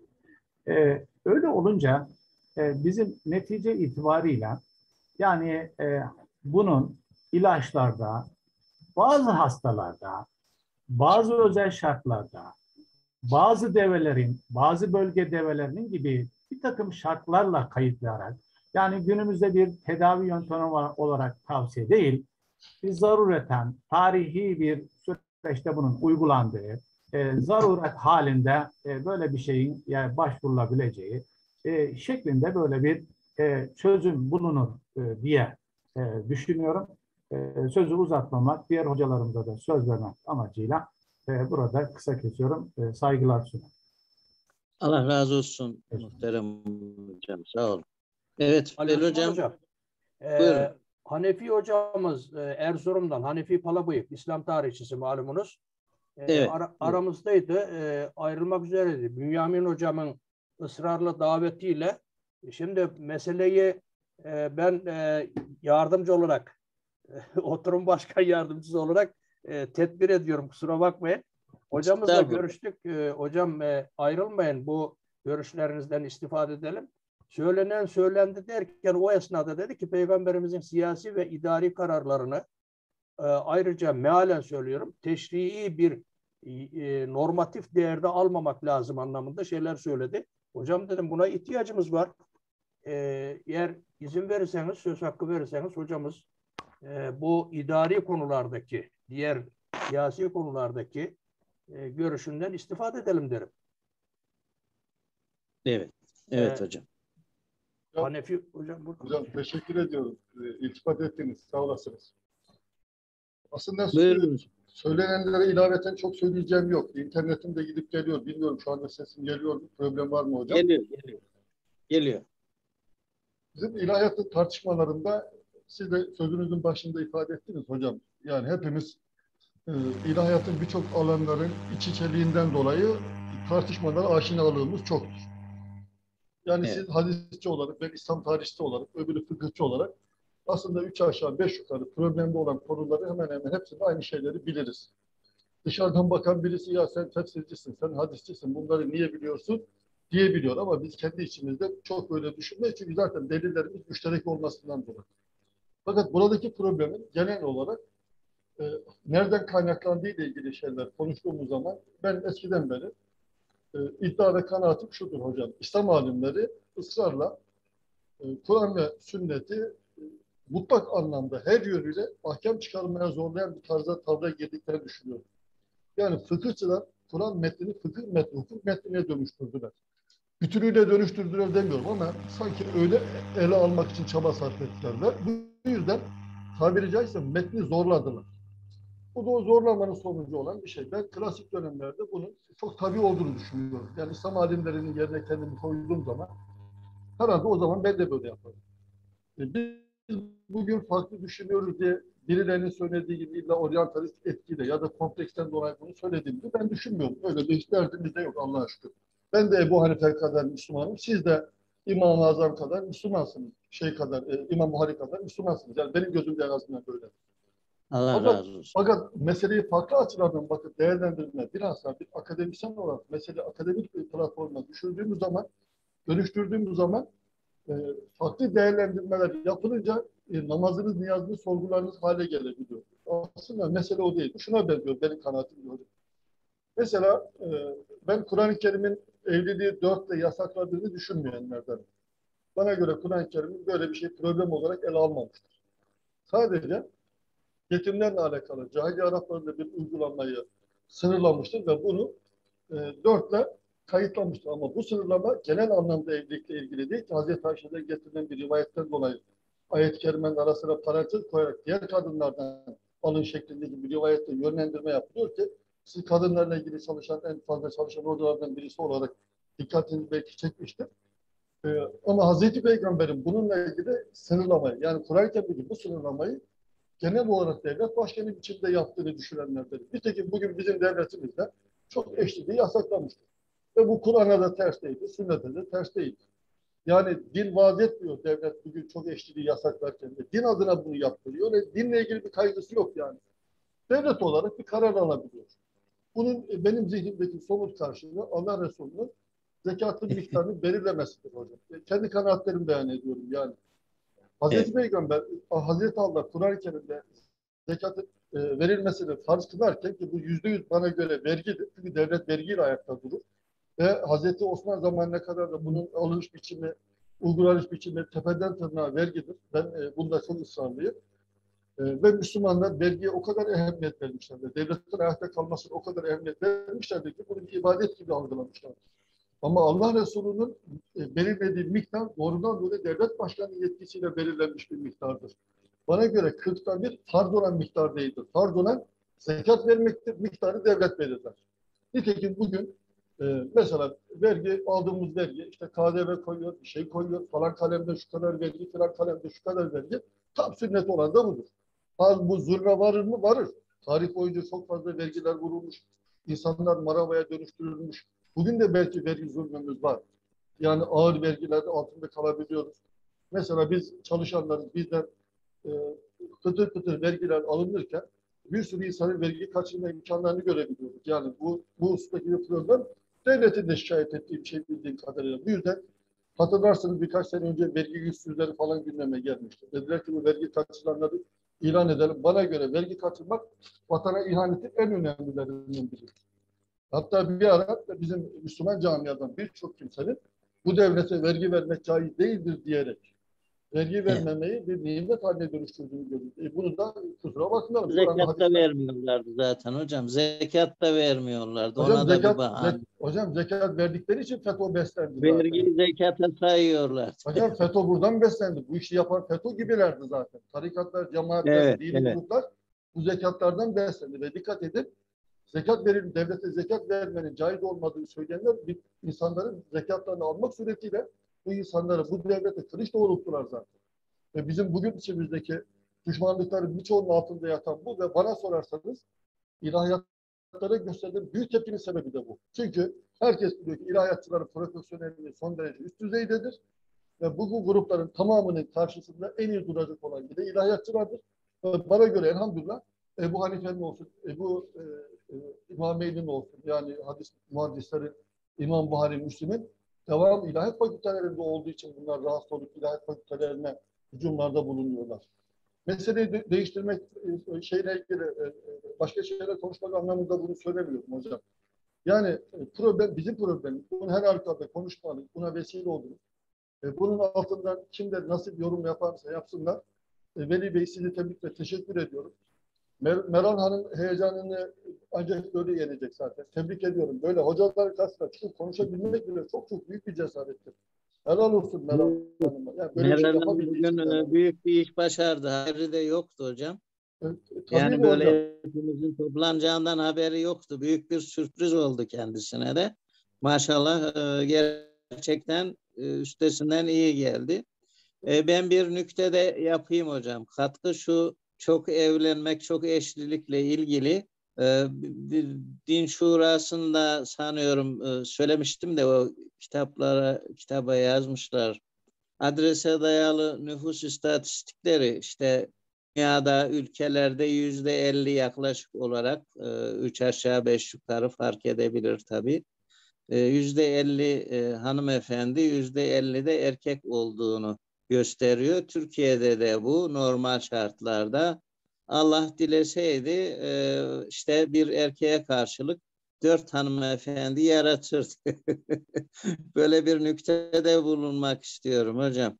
Yüzde elli elli yarattığına göre herkes hanımıyla mutlu olmaya baksın. Hanımlar da eşleriyle mutlu olmaya baksınlar. Evet, e, teşekkür ediyoruz. Ender Hoca'da Malezya'da mı ne galiba kadın nüfusunda bir artma olmuş. Birkaç- Artma mı olmuş? Tabii birkaç sene önce olabiliyor bazı bölgelerde. Bu denge bozulunca devlet de karar almış. İkinci eş, üçüncü değil ama ikinci eş için cevaz çıkarmış. Evet. Bu çok tabii bir şeydir. Kur'an-ı Kerim'in bunun önünü tıkamamasını, Resulullah'ın bu hususta örneklerinin anlamı da zaten böyle bir şey olmalıdır. Evet. Ve de, e, vesile olduğunuz teşekkür ediyorum. İnşallah böyle programlarda her zaman bulunalım. E, Sözün bu e, başlıkla alakalı olan kısımda da ben Hazreti Peygamber'in dini uygulaması değil, doğrudan böyle kendi dönemindeki bilgilerinden hareketle e, bu tıbbi nebevi diye bahsettiğimiz konularda hüküm beyan ettiğini düşünüyorum.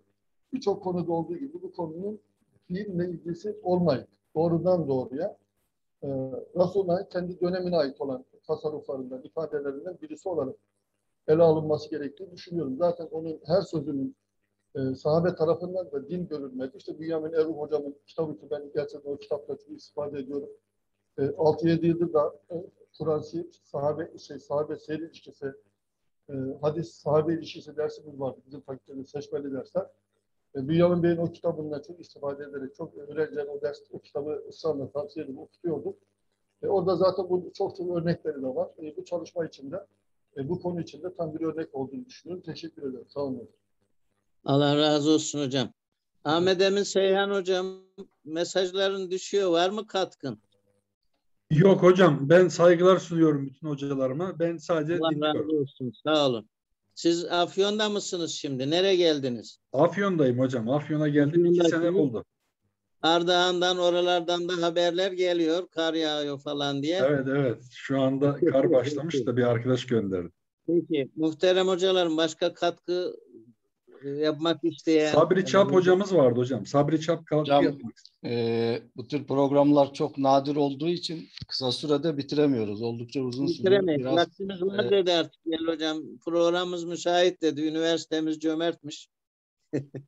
Yoksa Evet. 40 dakikada falan bitiyordu bu şeyler, programlar. Ee, Müsaade- vaktimiz var mı? Buyurun. Müsaade ederseniz iki hususa işaret etmek istiyorum. Öncelikle hem Meral hocamıza hem Veli hocamıza teşekkür ediyorum. Bütün, bütün hocalarımız da geç saatlere kadar takip ettiler. Hocam birincisi e, sonraki dönemde oluşan bir kısım telakkileri erken dönemleri anlamlandırmazda kullanıyoruz. Bu ciddi problemlere sebep oluyor. Tıbbı, tıbbı nebevi ile ilgili husus da tamamen böyle. Erken dönemlerde, rivayet döneminin tamamında tıpla ilgili rivayetler e, kitabı tıp bölümlerinde yer alıyor ve kitab-ı ziraa, kitab-ı buyu, kitab-ı imara gibi e, ticaretten, ziraatten, e, idareden farklı özellikte değerlendirilmiyor. Yani Peygamber aleyhissalatü vesselamın tıpla ilgili uygulamaları tamamen ziraatla ilgili tavsiyeleri, ticaretle ilgili tavsiyeleriyle birlikte aynı özellikte kabul ediliyor. Yani bir nebevi ziraat, bir nebevi ticaret, bir nebevi idare eden siyasetten söz edilmiyor. Fakat İktisad Nebi niye demiyorsunuz demiş Bünyamin Hoca.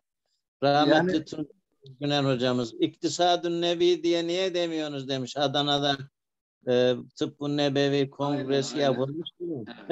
Yani bir nebevi özellik olarak görülmüyor. Peygamber aleyhissalatu vesselamın uygulamaları olarak değerlendiriliyor. Gayet doğal, gayet tabii ve bu herhangi bir probleme de sebep olmuyor. Ama sonraki dönemlerde e, tıpla ilgili rivayetler tıbbı nebevi bağlamında değerlendirilmeye başlıyor. Bunda bilmiyorum İbrahim Hocam'ın işaret ettiği gibi Şia'dan bir etkilenme söz konusu mudur? Yani imamlar vahiyle tıp bilgileri alıyorlar da peygamberimiz neden almasın gibi böyle bir telakki var mı bilmiyorum doğrusu. Veli hocam daha çok bilecektir bunu.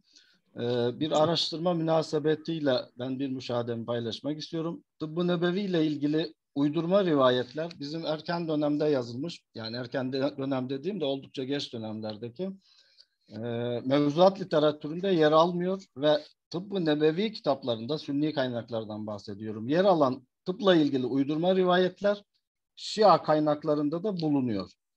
Burada bir e, etkileşim söz konusu mudur bunu bilmiyorum ama e, tıpla ilgili rivayetler tıbbı nebevi telakkisiyle anlaşılmaya başlayınca biz tartışmaya başlıyoruz. Halbuki e, erken dönem muhaddislerin zihninde böyle bir şey yok. Yani tıpla ilgili rivayetler, ziraatla ilgili rivayetlerden, ticaretle, idareyle ilgili rivayetlerden hiç farklı değerlendirilmiyor. İkincisi ise bütün hadislerde dikkat edilmesi gereken bir husus. Bir rivayetin merfu veya mevkuf olarak nitelendirilmesi. Rivayetler oluşurken, rivayetlerin teşekkül döneminde rivayetin merfu veya mevkuf olduğuna dair herhangi bir ayrım, herhangi bir sınıflama, herhangi bir tarz özü itibariyle söz konusu değil. Biz sonraki dönemlerde bir rivayeti analiz ediyoruz. Bu merfu, bu mevkuf diyoruz. Ve genel tahammül de tamamen şöyle. Uzunca bir metin içerisinde sadece birkaç kelimelik Peygamber aleyhissalatü vesselama ait bir ifade veya ona nispet edilen bir fiil söz konusuysa biz bu rivayeti merfu olarak değerlendiriyoruz. Halbuki e, sahabi Resulullah'ın sözlerini bazen doğrudan naklediyor ama fiillerini hatta bazen sözlerini de tamamen dolaylı olarak aktarıyor. Ve o sahabinin dolaylı olarak peygambere nispet ettiği rivayet ister söz olsun bu ister fiil peygamber aleyhissalatü vesselamın uygulaması olsun e, standart bir merfu derecesinde değerlendirilmemesi gerekiyor. Bu rivayetin merfu veya mevkuf olarak nitelendirilmesi de erken döneme ait bir tasnif değil, bir ifade tarzı değil, bir rivayeti ölçme şekli değil. Sonraki dönemin bir telakkisiyle erken dönemde oluşmuş olan rivayetleri biz zihnimizde tasnif ediyoruz. Ve o tasnif sonraki dönemdeki telakkiyle yaptığımız bu tasnifte bu sefer de bir rivayeti sahabinin naklettiği bir şeyi ya bu merfudur deyip hani ona itirazda bulunma veya onu yorumlama veya orada sahabinin bir aktarım hatası olabileceğini e, dikkate almıyoruz. Çünkü rivayeti merfu olarak kabul ediyoruz. Halbuki rivayet orada özü itibariyle tamamen sahabiye ait. Yani bir kusur varsa burada Resulullah'a ait değil, sahabeye ait bir kusur. Bu iki hususun altını çizmek istiyorum doğrusu. Her ikisi de sonraki döneme ait bir telakki, merfu mevkuf telakkisi ve tıbbı nebevi telakkisi. Halbuki erken dönemde hiç böyle bir problem yok. Bir de bu e, deve idrarı ile ilgili uygulamada benim bildiğim kadarıyla neredeyse istisnai bir uygulama. Mesela bu rivayete dayalı olarak sahabinin bol miktarda böyle bir uygulamasını görmüyoruz. Yani bu rivayet veya Allah Resulü'nün bu tarz bir uygulaması eğer hakikatse ki Mehmet Afaydın hocamın esas e, ifade edeceği bir husus. E, yani istisnai başka rivayetler var mı? Tek hadiseye mi dayanıyor ki muhtemelen tekil bir olaydan e, söz ediliyor. Yani Allah Resulü'nün bir başka şahsa böyle bir tavsiyesini görmüyoruz. Bünyamin hocamın e, rivayetlerde Allah Resulü'nün uygulamalarının süreklilik açısından değerlendirilmesi e, bağlamında zannediyorum. Bu husus da aslında anlamlı. E, Palabıyık hocamızın işaret ettiği her rivayetin veya her ayetin hüküm kaynağı olarak görülmesi de ki bu da sonraki döneme ait aslında bir telakki. Bunlar bizim bir kısım problemlerimizin aslında temelinde yatan hususlar. E, bu kadarla iktifa etmek istiyorum. Herkese tekrar teşekkür ediyorum. Saygılarımı sunuyorum. Allah razı olsun hocam. Biz teşekkür ederiz. Evet muhterem hocalarım. Vaktimiz epey uzadı. Var mı? Katkıda sunun. Hocam ben Gücenmeyelim. Ha, Kırılmayalım. Sözümüz varsa lütfen buyurun. Müsaade ederseniz hocam ben e, tabii bütün konuşmacı hocalarımıza teşekkür ediyorum. E, doğrudan mevzuya e, girmiş olmaları bakımından Enbiya hocamın kaygılarına katılıyorum. Fakat uslubun yanlış anlaşılabileceği dinleyiciler uzman olsun olmasın e, yanlış anlaşılabileceği ihtimaline binaen e, şöyle bir tasrih veya temkin ifadesi kullanmak istiyorum. E, yani tıp kelimesinin birincisi bu. Tıp kelimesinin o zamanlarda tedavi amaçlı anlamıyla kullanılırken günümüzde kavramlaştığını belli bir bilim ve sanat dalının, meslek dalının adı olduğunu bilerek e, bunu söylüyoruz ve bunu anlatmamız lazım e, dinleyiciye. Bu okumuş olur olmaz, halk olur. Birincisi. İkincisi, e, hocalarımızın genel manada, mesela Bünyamin Bey de e, benzer kanaatteler. E, Peygamberimiz, e, özet olarak söylüyorum, bu kadar vulgarize edilmez ama anlaşılsın diye, Peygamberimiz tabip olarak mı gönderildi? Bu şekilde doğrudan e, sözlerin izah edilerek sonuca doğru gidecek iken son cümleyi hüküm olarak böyle söyleyince insanlarımız irkiliyor ve çekiniyor, tereddüt yaşıyor. Bunun için ben şunu diyorum. Peygamber Efendimiz evet hekim olarak gönderilmedi dersek o zaman iktisatçı olarak da gönderilmedi. Bey ve şira konularını da çıkaralım. O zaman e, Peygamber Efendimiz savaşçı matador olarak da gönderilmedi. Köle, e, fidye, cizye, değil mi? Ganimet meselelerini de çıkaralım. Vaziyet buraya gider. Bu anlayışa sebep oluruz. Oysa hocalarımızın niyetinden ben eminim. Ama e, bir e, anlatım ve uslup e, farkı olarak ben şunu söylüyorum. Onlara itiraz olarak değil, halkın, diğer insanların yanlış anlamasının önüne geçmek için Peygamber Efendimiz tabip olarak gönderilmediyse de Arapları tedavi etmek için gönderilmediyse de Arap tababetini tedavi etmeye geldi. Bunun için zat halinizle birlikte e, İstanbul'daki 2018'deki e, Cumhurbaşkanlığı'nın e, tertip ettiği kongrede e, bunu arz etmiştim hatırlarsınız belki ve orada Peygamber Efendimizin tebliğimizin adı oydu cahiliye tıbbına bakışı ve modern tıbba katkıları diye. Kendimce ve ilahiyatçı olarak 12 madde belirledim ki bir tanesini bir başka adam belirlemiş olsa, yapmış olsa onu tıp tarihinin baş tarafına yazarlar. Mesela e, Hüseyin Hansu hocamızın okuduğu Me enzelallahu den illa enzele lehu şifen veya deven. Bunu o dönemde bir kişi söyleseydi cahiliyedeki majik tıbbı nesnel, rasyonel bir şekle getiren en önemli cümle diyerek onun ismini başa yazarlardı. Bakın şifasız e, hastalık yoktur. Hastalığı da şifayı da veren Allah'tır diyerek şirkten tıbbı kurtaran bir insanı tıp tarihine yazarlardı. Bu kasıtlı. Bunun gibi daha 10-12 tane madde sıraladım. Onun için e, sözün özü şu, e, kavramsal terminolojik problemler yaşamamamız gerekiyor. Hocalarımızın her şeyi sizin de belirttiğiniz gibi ilcamul avam kabilinden her şeyi halkın huzurunda tartışmamak gerekiyor. Ama bir de şunu söyleyeyim. E, Peygamber Efendimiz siyasette, idarede olduğu gibi siyasetnameleri çalıştım yüksek lisansta gördüğüm o. Şafii mezhebinden olup, Hanefi, Hanbeli mezhebinden olup siyasetname veya siyaset ahlakı yazanların eserlerinde onlarca hadis varken Hanefi alimlerin, Hanefi mezhebinden olanların yazdığı siyasetnamelerde hadisler 10, 20, 30 kadardır. Yani lafız olarak böyle e, belirliyorlar.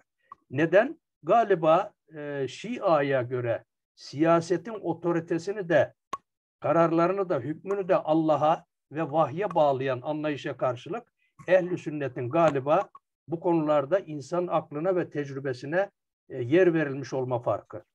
Hocam siz nübüvvetin bir parçasını görüyorsunuz yani bu tıbbı nebeviyi? Nasıl? Yani Hazreti Peygamber'in tıbba katkısı ayrı bir şey. Nübüvvetin bir parçası demek ayrı bir şey. Nü- Problem ama o birazcık sanki. Nübüvvetin parçası konusunu ayrıca özel olarak konuşmamızda fayda var hocam. Ama o konudaki konuşmadığım, söylemediğim konudaki husus bu konuya genel bakışı çok etkileyecek bir şey değil. Genel bakışım itibariyle Peygamberimizin Arap tababetini şirkten ayrı, ayrı arındırmaya gelişi. İki, o zamanki Arapların ziraatı, şurayı, burayı çok fazla sormayıp da ona nispetle tıbbi konuları gelip kendilerine arz etmelerinin sebebi Peygamber Efendimizin nebevi bilgiye sahip oluşundan ziyade insanların mahrem saydıkları vücuduna uygulayacakları ilacı veya sürecekleri kremi soruyorlar. Caiz mi değil mi şeklinde.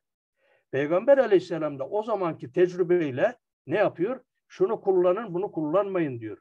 Burada cevaz meselesi var. Teşri meselesi değil. Yani bir köy öğretmenine ve köy imamına gelir sorar köylüler. Bunun gibi Yani- bir şey mi hocam? Şimdi, şimdi orada e, hukuki teşrii bir belirleme değil, o insanların artık yeni bir peygamber gelmiş, birçok adetlerine, uygulamalarına e, engel oluyor. Hatta bazılarının ismini değiştiriyor. Hayata ve kişilere dair müdahil bir aksiyoner tarafı var. Bu insanlar en çok neyi sorarlar? Kendisiyle, canıyla, bedeniyle alakalı şeyleri sorarlar haliyle ziraatla alakalı, hayvancılıkla alakalı bir tek hadisede rastlamışlar. Malum e, hurmaların aşılanması hadisesinde cevaplarını almışlar. Ama vücuda uygulayacakları, içecekleri, bedenlerine sürecekleri konuda ciddi manada tereddütleri var. Bu tereddüdü ancak peygamber giderebilirdi. Onun için ona gidiyorlar. Resulullah da cevapsız döndürmek istemiyor. O zaman bir Haris bin Kelede gibi İran'da tıp te- e, şeyi görmüş, tahsili görmüş birisinin karşısında aciz bir peygamber durumuna da düşmek istemez. Bir cevap verecek, o da ahlaki niteliklidir. Ama haramları kullanmamak, haramı ilaç olarak kullanmamak konusunda da nebevi, değil mi, yasak koyucu e, hüviyetini, otoritesini de göstermiştir. O bakımdan ha öbür tarafı Arapların uyguladığı bir ilacı tedavi maksatlı tavsiye ettiyse benim özel olarak söylediğim burada meclis için söylediğim halk için söylemeyeceğim bir şey var. O da o zamana kadar ki ilacın tesir, iyileştirme gücünün Allah'ın sevgili peygamberi kulunun tasvibi onayı üzerine iyileştirme oranının yükselebileceği havas dediğimiz ilacın iyileştirme özelliğinin artacağı kanaatindeyim ben. Veli Hocam, Veli Hocam. Efendim hocam. Sistematik Şimdi e, ben olayım, Hayri Hoca olsun, Enbiya Hoca olsun, İsmail Hakkı Hoca olsun bu konuda yazıp çizen hocalarımız bir defa ittifakla koruyucu hekimlik, tedavinin meşruiyeti, peygamberimizin bu yönündeki bu yöndeki teşviklerini hepimiz kabul ediyoruz.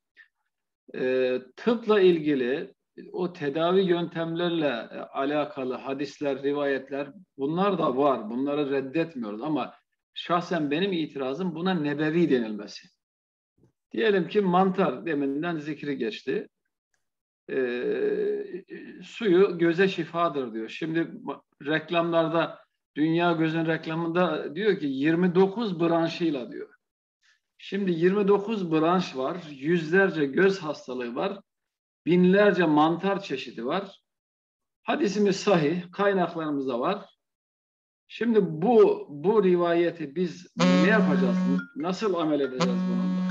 Evet. Onun için yani burada bizim e, karşı çıkışımız nebevi e, nitelemesine bir, ikincisi e, vahiy olarak algılandığı için bu kesinleşmiş modern kesinleşmiş tıbbi verilerle yüzde yüz çelişen hususlar var.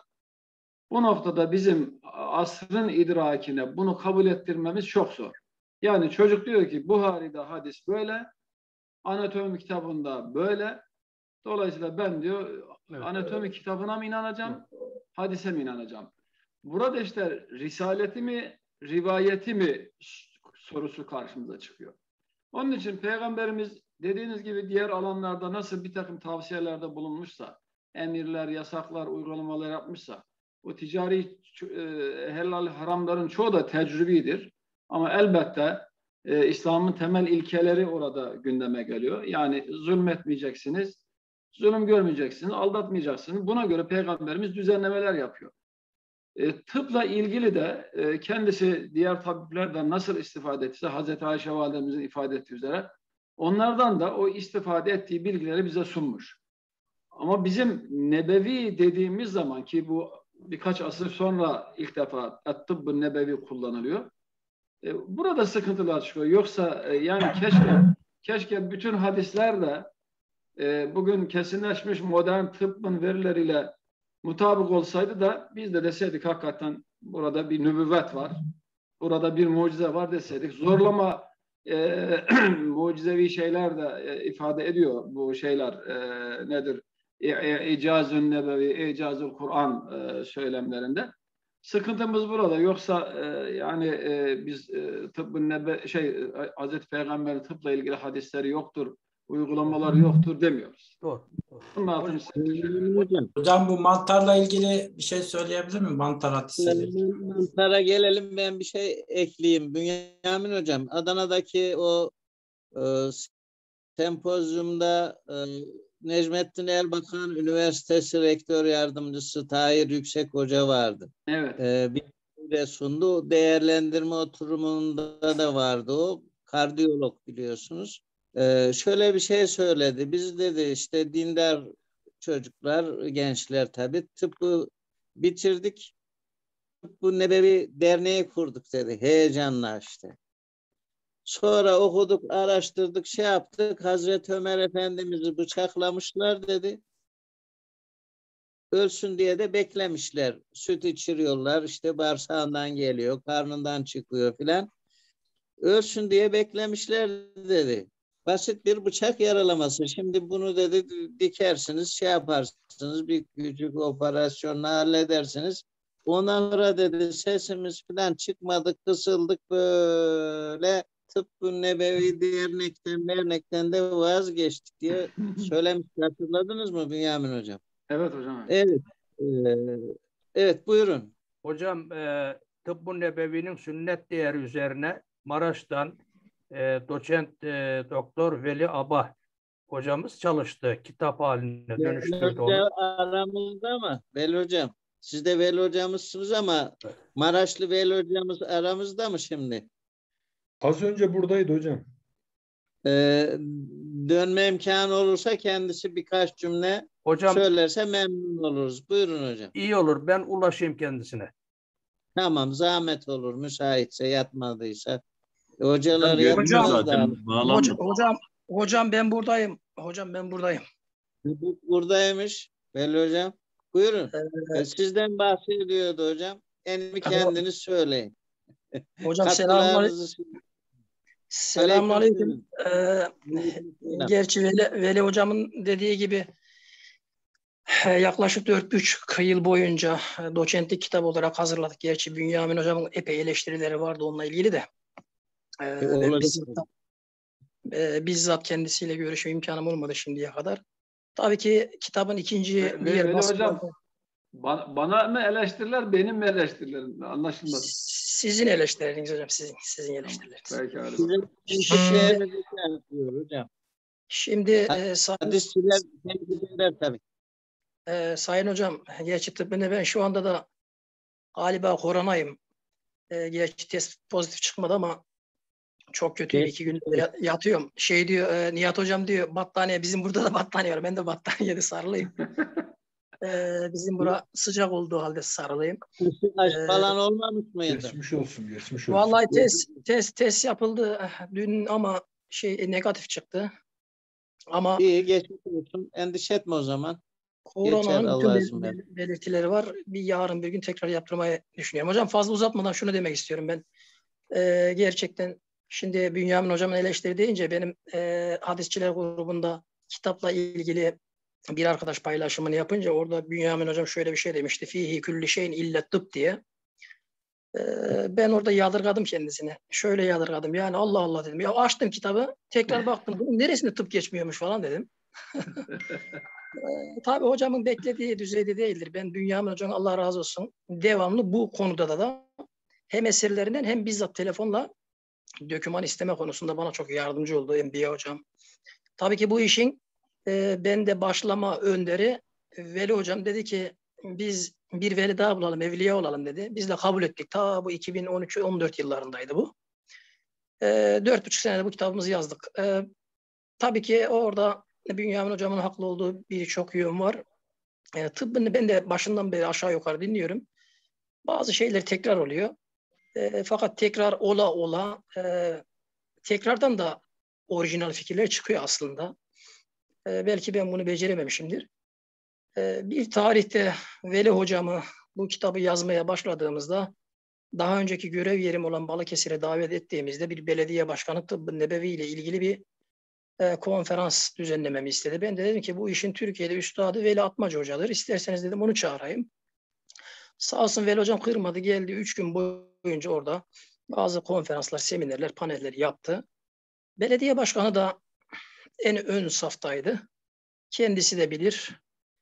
E, o büyük konferans bitince beni buldular, geldiler. Dediler ki ya e, çok enteresan bir şey bakın mesela burada.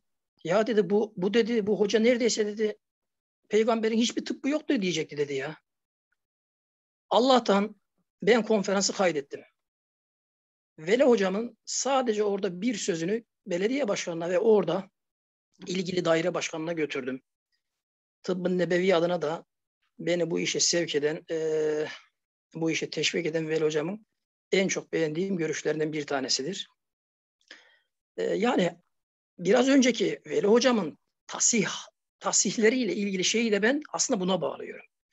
Veli hocam bu işte e, gerçekten halk nazarında olan bazı şeyleri görmüş ki görüyor. O şeyleri de yapıyor. Konferanslara, seminerleri. Şöyle bir şey demişti orada.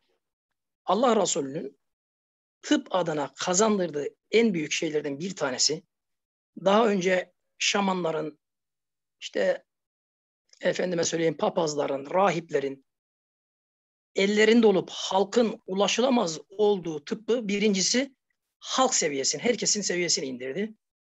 İkincisi de özellikle manevi tıpla ilgili okuma, rukya ki hocamın buna ben e, bununla ilgili müstakil kitap var biliyorsunuz. Dedi ki tıbbın tıbba Allah Resulü tevhidi bir boyut kazandırdı. Şimdi bu tevhidi boyuttan e, herhangi bir teşri e, bir karar herhangi bir buna benzer şey çıkarmamak lazım aslında ama aynen biraz önceki görüşüne katılıyorum ki cevabı da verilmedi. Yani şöyle bir şey dedi. Ben merakla bekledim ama olmadı. E, veren olursa da ben kabul ederim, dinlerim. Şöyle dedi hocam. Yani ziraatla ilgili, ticaretle ilgili, iktisatla ilgili nebevi boyutunu ne yapacağız o zaman? Yani gerçekten burada e, bazı söylemlere bence hocamın dediği gibi dikkat etmek lazım. Veli hocam. Ha ben, Veli hocam. Efendim hocam. Hiç hocam iktis- buyurun. İktisadi nebevi, ziraat nebevi denilmiyor ki.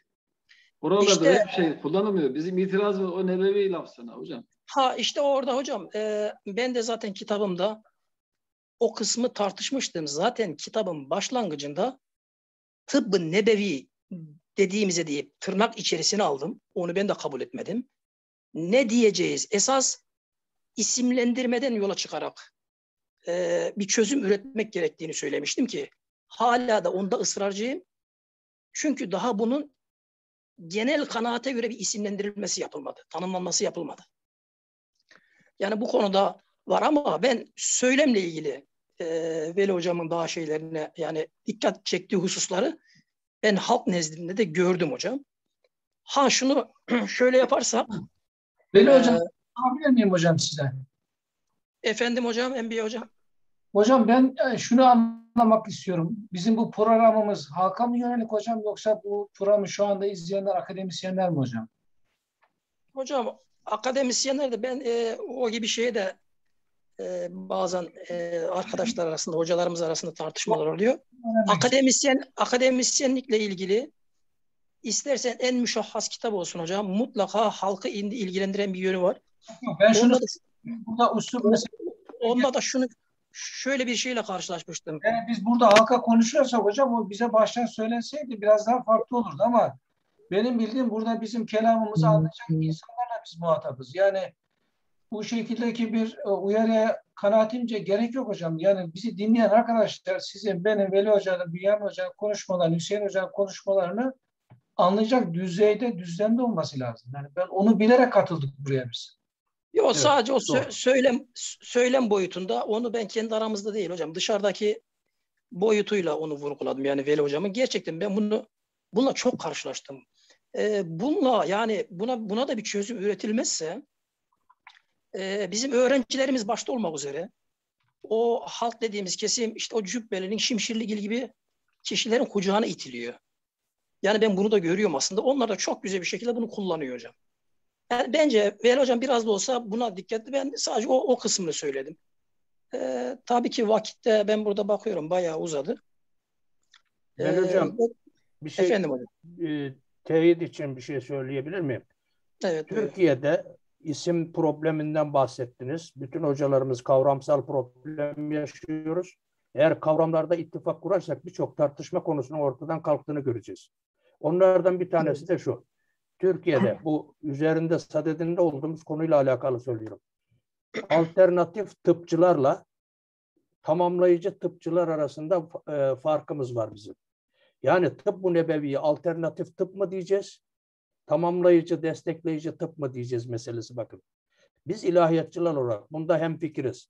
Şu anda muarıza ettiği, ediyor gibi gözüktüğümüz hocalarımızla da müttefikiz. Yani tıp bu nebevi bir alternatif tıp değil, destekleyici tıp olarak değer kazanmalıdır diyorum. Bunu biz mi söyleyeceğiz? Yoksa hocam burada bir üçüncü boyut daha var ya. Efendim hocam? Bir başka boyut daha var burada. Affedersin Mehmet Bey. Bunu ilahiyatçılar mı söyleyecek? Yoksa tıpçılar mı söyleyecek hocam? Tabipler ya, mi söyleyecek? Bakın bir, bir şey söyleyeyim. Sen ana bilim dalı kuruldu. Geleneksel ve tamamlayıcı tıp ana bilim dalı diye. Evet. Bizim burada Prova'da tıp fakültesinde var ana bilim dalı. İstanbul'da var herhalde Cerrahpaşa'da falan. Veli hocam değil mi? Siz de Hocam, hocam. E, Sağlık Bakanlığı'nda e, geleneksel tamamlayıcı tıp daire başkanlığı var. Biliyorsunuz Zafer Bey onun başkanıydı bir ara. Doktor Zafer Bey. Evet. Ee, siz de yakinen tanıyorsunuz. E, dostluğunuz da vardı. Üniversitelerde, tıp fakültelerinde ana bilim dalları kuruldu. Mevcut. Aynen tıp, tıp fakültelerinde de uygulamalı folklorik tıp e, bünyesinde burada or, ortaya konuldu. Batı üniversiteleri, Batı tıp e, tecrübeleri geleneksel tıbba e, bir hayli vakit ayırmış, kapı aralamışken bizde e, Tanrı'yı izine ayıran tıp anlayışı, rasyonelist tıp anlayışı geleneksel tıbba hep e, şey baktı. E, söyleyin. Mesafeli. E, mesafeli baktı. Alaycı tavırla. Hatta o kongredeki bir bayanın ne kadar çığlık kopardığını, ottan çöpten tıp mı olurmuş diye bağırdığını hatırlarsınız. Evet. Şimdi Hocam, burada bu... bir başka boyut daha var müsaade ederseniz. Estağfurullah buyurun. Şimdi az önceki mantar hadisinden yola çıkarak ben onu e, tamamladım inşallah yayınlayacağım. E, mantar mantarla, hangi çeşit mantar? E, mantarla ilgili rivayet. Yani evet, yenen mantar mı, yenmeyen mantar mı benim bahçede çıkıyor aman zehirli hocam aman diyorlar. Yani kemhat dediğimiz e, ve bir de tabii ki şey e, çörek otu ikisi beraber. dedikleri bir şey var kazılarak topraktan çıkıyor toprağın içinden böyle gölge yerlerden. Evet, evet. Yani Medine'de olanlar genellikle zaten toprağın Tabii, içine yakın olanlar. Çeşitleri var ondan da. Şimdi hocam burada e, yani bana göre üçüncü boyut daha var. Bunu tartışmadan e, meseleye girdiğimiz için bazı sorunlar yaşıyoruz. Şimdi Peygamber Aleyhisselam'ın rivayetleri sizin de bildiğiniz üzere sonraki tasnif döneminde belli bab başlıklar altında toplanarak onlara belli anlamlar yüklenmiştir. Bunlara e, bu tıpla ilgili rivayetler de dahildir. Peygamber Aleyhisselam'ın kendi döneminde e, belli bir şey için söylediği bir şey, bir, bir söz veya yaşadığı bir şey e, sonraki dönemde e, o bab başlığını uygun hale getirilerek bu da ihtisar takdir ve manen rivayet ve diğer yöntemlerle e, ravi tasavvur, e, tasarruflarıyla yapılıyor. Yerleştiriliyor. Şimdi burada bunu e, bu mantarla ilgili rivayette de görüyoruz. Normalde Peygamber Aleyhisselam döneminde İbrahim suresi nazil olduğu zaman İbrahim suresinin e, şöyle bir ifade var surede 24. ayetinde e, keşeceretin tayyibatin e, asluha diye. Şimdi buradaki e, şecere-i tayyibe, şecere-i habise kelimelerini sahabe birbiri arasında tartışıyor. Tartışınca bazıları diyor ki bu yerden çıkan mantarlar şecere-i habisedir. Bunları yemek caiz değildir. Yeme, yenmez bunlar. Tabi bu e, tartışma Peygamber Aleyhisselam'a aksediyor. Peygamber Aleyhisselam da çıkıyor rivayete göre. Diyor ki bu mantarın neyi var? Bu her şeye, her derde devadır diyor. Ya da işte göze şifadır vesaire. Şimdi bu arada Şecere-i Tayyibe'yi de e, acve hurması olarak e, söylüyor. Diyor ki acve hurmasıdır. E, ve acve hurmasını da habbetü sevda diye tekrar isimlendirdiği için ve ve enne hâzihil habbeti sevda diyor. Devain lükülli dain diyor. Ve buradaki habbetü sevda sonraki tabi döneminde şuniz olarak yani e, çörek otu olarak zannediliyor ve ortaya bir çörek otu sünneti çıkmış oluyor. Halbuki Peygamber Aleyhisselam çörek otunu ne görmüş, ne işitmiş, ne de e, yemiş şu anki bizim tespitimize göre. İnşallah makalede e, çıkacak şeyler. Yani normalde Peygamber Aleyhisselam burada tıptan falan bahsetmiyor. İbrahim suresindeki şeyi yanlış anlayarak insanların e, gidip de gereksiz yere e, şey yemelerini engellemek isteyenlerin yani e, yerden buldukları mantarı yemelerini engellemek isteyenlerin bu şeyi Kur'an-ı Kerim'i kullanarak engellemelerini aslında engellemiş oluyor. Ancak sonraki dönemde tabii ki bu tür e, bilgiler e, dediğiniz gibi e, tıpla ilgili dikkatler e, o tarafa yönelince belli bab başlıklar altında toplanıyor ve burada da işte kemaatın faydaları deyip bu rivayeti orada zikrediyorlar. Veya işte şu nizin yani çörek otunun faydaları deyip orada zikrediyorlar. Ama olayı tetkik ettiğinizde bakıyorsunuz ki Peygamber Aleyhisselam'ın gerek acve hurması için gerek şey için söylediği şey e, sadece onun her derde devadır, faydalı bir şeydir. Yani bizim ölüyü diriltir dediğimiz tarzda bir ifadesidir. Neden acve hurmasından da bahsediyor? Çünkü acve hurması o dönemde çok küçük olduğu için ve değersiz olduğu için insanlar hayvanlara yem yapıyor acve hurmasını. Peygamber Aleyhisselam'da ne var bunda? Niye yani bunu bu kadar hor görüyorsunuz, yemiyorsunuz diye aslında onu desteklemiş oluyor. Yani burada bu üçüncü boyut dikkate alınmadan bu tıpla ilgili rivayetlerin doğrudan Peygamber Aleyhisselam'ın bizatihi insanlara e, tıp öğretmek veya tıptan bahsetmek için söylediği, uyguladığını düşünmek bence e, ciddi yanlışlara sebep oluyor. Yani Peygamber Aleyhisselam'ın herhangi bir tıpla ilgili eylemi mesela Haris bin Kerede ile ilgili birçok şey de var. Bu eylemler doğrudan e, bir bab başlığı altında zikredilince sanki Peygamber Aleyhisselam bunları işte tavsiye ediyor. Böyle bir tıbbi şeyi varmış gibi bir kanaat oluşuyor. Buna da dikkat çekmek istiyorum. Mehmet Aydın, Mehmet Apaydın hocama bir şey soracağım da e, ben acaba yani habbeti sevdayı siz çörek otu değil de şey e, acı hurması böyle dediniz değil mi yani ben Evet evet aynen öyle. Peki hocam şunu hiç düşündünüz mesela makale yazdım dediniz de mesela Arapçada gargara, şarşara buna benzer bazı fiiller veya işte diyelim ki bir isimlerin verilen o fiiliyatla veyahut da o nesneyle bir ilgisi var. Şimdi zaten habbetü sevda dediğimizde hem habbe hem de sevda aslında hocam çörek otuna çok daha yakın değil mi yani?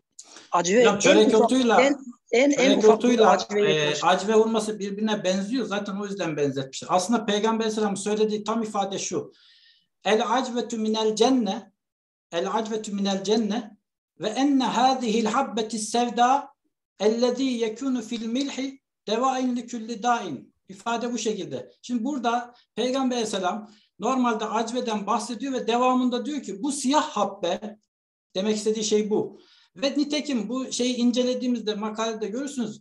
Zaten iki seçenek var. Ya şecere-i tayyibe ya şecere-i habise onu karşılaştırıyor. Yani Yo, ben sa- üçüncü sadece- bir seçenek yok orada.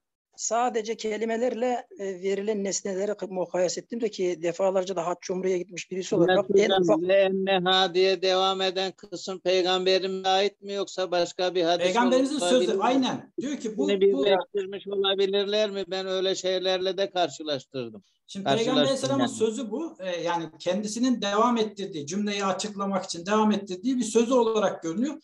Bir diğer husus da tabii ki normalde eğer habbetü sevda başka bir şey olsaydı bunu mesela tabi'in açıklamak durumunda kalmazdı. Yani mesela nedir habbetü sevda diye soruyorlar işte Kattade bu şunizdir diyor. Başka birisi başka bir şey diyor. Şimdi burada e, bir diğer başka şey de Peygamber Aleyhisselam döneminde Habbetü Sevda dışında e, şunizin kullanıldığına dair bilgiler de yok ve rivayetlerin tarihlerini tespit ettiğinizde bakıyorsunuz ki aslında Habbetü Sevda olarak geçen rivayetler diyelim ki Enes'ten geliyor ve diğerlerinden geliyor. Burada e, Abdullah bin Büreyde'den gelen tariki var. Büreyde bin Husayb'a nispet edilen. Mesela orada Habbetü Sevda diyor normalde Büreyde bin Husab bütün tarihlerinde. Ancak bazı tarihleri zamanla o Habbetü Sevda yerine Şuniz kullanılmaya başlanıyor. Neden? Çünkü tabiinden birisi onun Şuniz olduğunu söylemiş. Artık Şuniz da, da, e, deva ünlü külli da denmeye başlıyor. Bir diğer şey mesela zebiple zeyt için de aynı. Zebip e, ile ilgili şifa Hocam. şeyleri de zeyt e, zeyt yani zeytinyağı ile ilgili şifa şeyleri de yanlış okumalardan çoğalıyor. Yani bu e, birçok ihtimal var burada. Bu ihtimalleri görmezlikten gelip ondan sonra doğrudan bir tıbbı nebevi işine girmek bana göre çok tehlikeli bir şey. E, tek tek bu rivayetleri önce tespit etmek ondan sonra üzerinde konuşmak gerekir diye düşünüyorum. Sağ ol hocam. Teşekkür ederiz. Veli hocam. iki tane tane veri var. Hocam affedersiniz Veli Hocam. Bu konuda e, şöyle e, müsaade e, bir şey e, izah etmen gerekiyor. O tıp-ı nebevi e, adı altında veya Arapların tecrübi tıp, folklorik tıbbı adı altında gelen özellikle droglar, eşyalar vesaire baktığımızda bunların bir kısmının Hindistan e, ve onların akrabası İranlıların Pehlevi kültürünün etkisiyle kozmetik vesaire adı altında boyama, ne bileyim e, ilaç bazen e, şeklinde ticaret kervanlarıyla geldiğini görüyoruz Suudi Arabistan'a. Kültürel bir karışım, etkileşim var. Bir kısmı e, Kele'de de zaten Gündüz Çapır Tıp Fakültesi mi, tıp okulunu mu bitirmiş ya İran'da Tabii, hocam. Şeyde e, Haris şey e, İbn Ebi Useybiya e, ta, Tabakatul Etibba'da bunu zaten zikrediyor. Hatta Evet. e, e, onun e, Haris bin Kelede'ye Sa'd bin Ebi Vakkas'ı gönderirken zaten e, onu tabip olarak gönderiyor. Peygamber Efendimiz tabip olsaydı göndermezdi. E, Fakat e, enteresan bir şey var. E, Mehmet Apaydın hocam da rastlamıştır o rivayete. Diğer hocalarımız belki. E, git diyor ona yedi tane hurmanın çekirdeğini de dövsün. Bir de tarif veriyor Resulullah. Orası enteresan. Şimdi şunu söyleyeceğim oraya geçmeden. E, ticaret kervanlarıyla birlikte gelen e, bir takım e, sofra, tezyinat, e, giyim kuşam e, unsurları ve şeyleri var. İlaç. Bak, evet. Mesela tabii Udul Hindi'yi ne yapacağız? Yani Suudi Arabistan bölgesinde olmayan bazı şeyler var mesela. Ama burada dediğim gibi ben şahsi kanaatim e, Resulullah var olan tıbba tesir bakımından e, iyileştirici güç bakımından katkı sağladığı kanaatindeyim. Havassun e, Nebi gibi değerlendiriyorum. Veya e, Hasaysinden e, Heysemi öyle değerlendiriyor zaten. Ama e, şurada e, bunu şunu arz edeyim. E, benim çok ihtiyaç duyduğum bu konuda ihtiyacını alenen fark ettiğim Arap tababetini e, değil aslında biz Arap folklorunu, Arap sosyolojisini, cahiliye sosyolojisini ve etnolojisini iyi araştırmalıyız ki bu birçok konuya tıp-ı nebevi dahil anlam verebilelim. Mesela O droglarda Enbiya hocamın söylediği 43 maddelik hususta baktığımızda e, özele geldiğimizde bu devenin idrarı içilsin dendiğinde burada açıklar var hocam. Hangi deve? Erkek mi, dişi mi, değil mi? Yaşı var mı? Sonra bu idrar alındığında bir işlemden geçiyor mu? Bu tip şeyler e, eksik hocam bizde. Dolayısıyla bunları dikkate alarak e, re'sen rivayeti reddetme yoluna bazıları gidiyor. İlahiyatçı değil bunlar gerçi ama neticede halka mal olmuş magazin boyutu yüksek, tirajı yüksek insanlar bunlar. Yani e, dolayısıyla e, ben onun için oradaki tıbbu nebevideki geçen drogların cinsiyeti, mahiyeti, kullanım biçimi, işlemden geçişi vesairesi bunları dikkate almak lazım. Bugünkü insanların çıkıp da e, bir marul, bir maydanoz alıp da e, bunun şifasından şundan bundan bahsetmesini ben uygun bulmuyorum.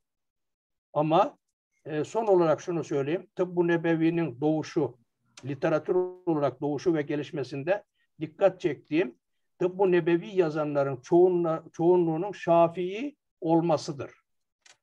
Onların sonuna Şafii oluşlarını özellikle bold bir şekilde belirledim. Bir tek Hanefi olan var. Onu gördüm ben de. Yani bu da herhalde hocalarımıza bir ipucu teşkil eder diye düşünüyorum.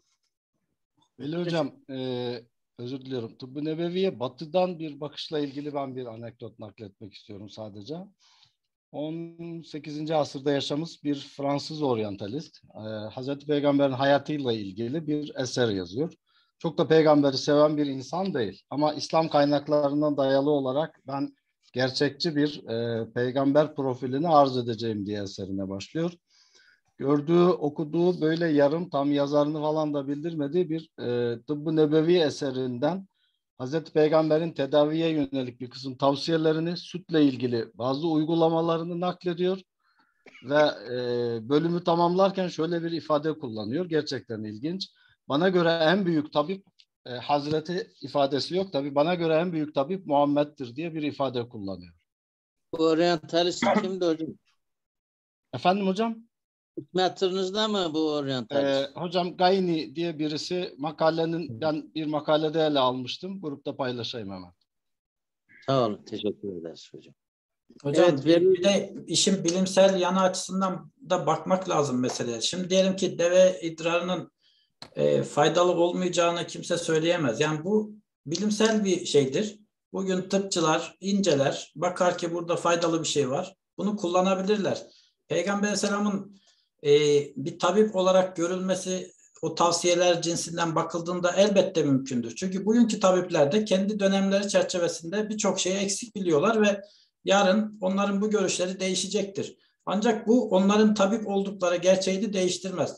Bizim burada Peygamber Aleyhisselam'ın tabip, ol, e, tabip gibi görülmesi veya tabip olarak değerlendirilmesi hususunda bizatihi e, önerilerinin her birinin e, bilimsel olarak doğru olacağından ziyade Veli Atmacı hocamın da dediği gibi e, Peygamber Aleyhisselam'ın o dönemdeki insanların e, şirkle karıştırılmış veya işte de diyelim e, çeşitli e, batıl inançlarla karıştırılmış olan tıbbi uygulamaları o şeyin içerisinden çekip gerçekten objektif bir şekilde bunların tıbbi anlamda kullanılabileceklerini önermesi bakımından değerlendirilmesi değerlendirmesi gerekiyor ve ben bunu çok önemsiyorum. Yani Peygamber Aleyhisselam işte e, gerek şeylerde la safere la tırete e, şeyinde olduğu gibi e, batıl inançlardan insanları çıkarmıştır.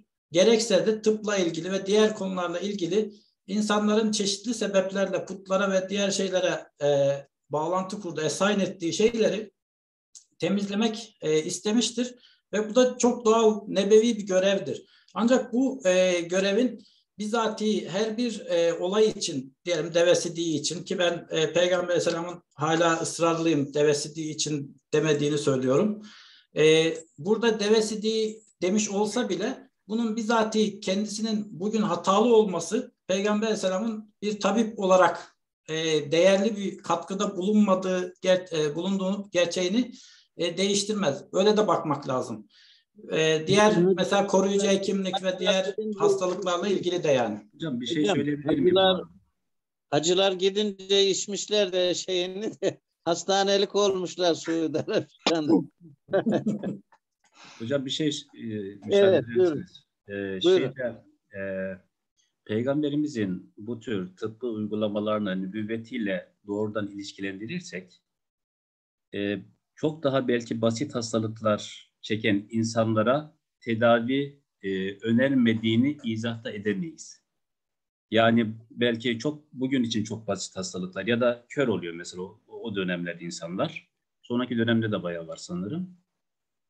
E, çok basit bir gö- göze belki müdahale ile bugün çözülebilecek hastalıklar e, ya da ölümle sonuçlanan o gün için. Yani Peygamberimiz bunlarla ilgili e, vahiyle niçin mesela şey yapmıyor da karın ağrısıyla ilgili böyle bir şey öneriyor.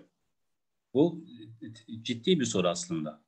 Peygamberimiz e, nübüvvetine bağlı olarak tıbbi çözümler üretiyorsa e, çok daha basit şeylerden insanlar ölüyor o dönemlerde.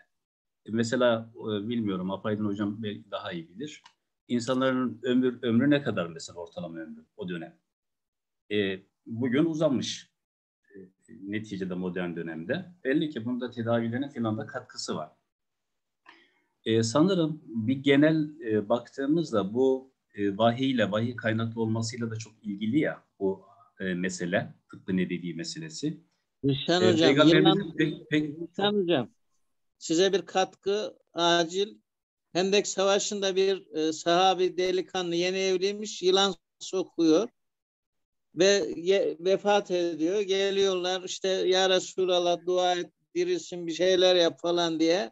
Kardeşinize istiğfar edin diyor. Sizi Evet. destekleyecek bir örnek hocam. Sonra e, mesela Rokiye e, sözü var. geçti. Rokiye uygulamaları var mesela. Evet. E, pe, panzehiri peygamberimiz niye bilmiyordu? Soru bu. Yani e, yılan sokmasına karşı değil mi? Mesela Fatiha suresini ok- okuyan sahabeyi tasvip ediyor, takrir ediyor, e, onaylıyor. Bu tür şeyler var. Hatta Rukye zaten cahil Araplarında da var. Şirkten temizliyor. Veli Atmaca hocamın işaret ettiği bir boyuttur bu. Ee, şunu diyorum ben yani hadis, sünnet elbette ki vahiy kaynaklıdır. Bu tartışılmaz. Ama hadisler, tek tek hadisler bence peygamberimizin vefatından sonra vahiy kaynaklı olduğu tartışmaları gündeme geliyor. Çünkü bu tartışmaların aşağı yukarı çıktığı dönemler belli. Sahabe bunu çok tartışmıyor. Zaten peygamberimiz hayatta ve dediği her şey o gün için birebir çözüm üretiyor. Çünkü şartlar değişmemiş. Aynı yerde yaşıyorlar. Ama vefat ettikten sonra şartlar da değişiyor ve hadisler var elimizde. Peygamberimiz yok. Dolayısıyla o hadislerin bütün dönemlerde geçerliliğini sağlamak adına benim iddiamdır bu. Hadislerin vahiy kaynaklı olduğu meseleleri gündeme getiriliyor. Çünkü bir tarih üstünlük atfetmek gerekiyor. Hadisleri form olarak da diğer yani e, içeriğini form olarak da diğer dönemlerde uygulamanın bir yolu açılmaya çalışılıyor. E, özellikle biraz daha hakim kesim tarafından, ehl hadis tarafından. E, bence tıbbı nebevi meselesi de bu bağlamda, bu, bu e, çerçevede ortaya çıkıyor gibi görünüyor. Ama bu e, biz bugün modern dönemde elbette ki izahında zorlanıyoruz. Peygamberimizden bize nakledilen uygulamaların işte deve idrarında olduğu gibi. Bir kısmımız bu deve idrarını tavsiye etmemiştir. Ve bazı işte delillerden Apaydın Hocam da söylüyor. Bir kısmı hadisi bütünüyle reddediyor. Gelenekte ne yapıyorlar? Hadis sahihse, sahih olması ne demek? Kaynağına nispetinin büyük ihtimalle doğru olması demek. Ama o hadis o haliyle mi peygamberimize ait? Bu başka bir soru ve gelenek bununla hiç ilgilenmemiştir. Bizim hadisçiler, şarihler, hatta fakihler. E, bugün biz akademik bakışla bunlarla ilgilenmek zorundayız. Hadis sahih ama bu zaten hadis sahih olduktan sonra sorun çıkıyor. Mevzuysa sorun yok. Sahih ama bu haliyle mi sahih? Sorun bu. E, dolayısıyla e, bence vahiy kaynaklı tek tek her bir hadisin vahiy kaynaklı olduğu iddiası bu tür çözülmesi zor e, meselelere kapı açmış görünüyor. Benim kanaatim budur. Evet, teşekkür ederiz hocam. Hocam, Z- Zişan Hoca'yı dinleyince aklıma geldi. Bizim bir ezberimiz vardır. Vaizler hep söyler. İşte e, Mısır'dan bir doktor gelmiş, bir sene bakmış ki hiç hasta yok. Demiş ya neyin nesi? E, biz işte doymadan kalkarız, acıkmadan yemeyiz falan. Bu ezberi biz küçük yaşlarımızda duymuşuzdur. E, neredeyse her birimiz belki tekrarlamışızdır. Bize ekmek yok gitmiş. Ben, ben diyorum ki ya sadece peygamberimizin çocuklarına bakın ya bunlar depremde mi öldü ya? Bunların hepsi hastalıktan öldü. Yani defalarca evlenen hanımlar var. Kocaları hastalıktan ölüyor. Yani birinin oturup e, ne tür hastalıklar varmış ve bu hastalıklardan nasıl ölmüşler bunların araştırılması lazım. Hatta peygamberimizin tedavi yöntemlerinde de yani işte hacamat yapıyor, e, hasta ölüyor. Ne bileyim işte dağlama oluyor, e, olumsuz sonuçlar çıkıyor falan. Bunların da dikkate alınması lazım. Hocam çok geç oldu. çok teşekkür ederim ben e, hem Ali Osman hocama hem Veli hocama, bütün katkı sunan arkadaşlara, sunum yapan hoca hanıma. E, Veli hocam bunu böyle ayda bir yapsın da 3 saat 4 saat olmasın. Yani daha evet, kısa. Evet, e, ben rektörümüze de selam ve saygılarımızı, teşekkürlerimizi Eyvallah. iletsin. Bunun devamını e, beklediğimizi iletsin. Bize imkan sağlasın madem. Hadisçiler olarak, hocalar olarak özledik bu tür toplantıları. Osman- Bu Osman Oruçhan da aramızda onu dinleyemedik. O o doktora tezinde bu konulara çok yer verdi. Onu Evet. hiç dinlemedik. E, dinleyelim. Dinleyelim buyursun buradaysa. Burada mı hocam? Selamlar e, hepiniz arkadaşlar. Şimdi e, aha, ben bu arada Pamukkale İlahiyat'tayım. E, ben bu konuyu yani Urani, Urayneliler hadisini araştırmak isteyen arkadaşlara bir tavsiyede bulunmak istiyorum sadece. Yani işin e, sıhhat boyutuyla yani otantisitesiyle ilgili bir e, tavsiye.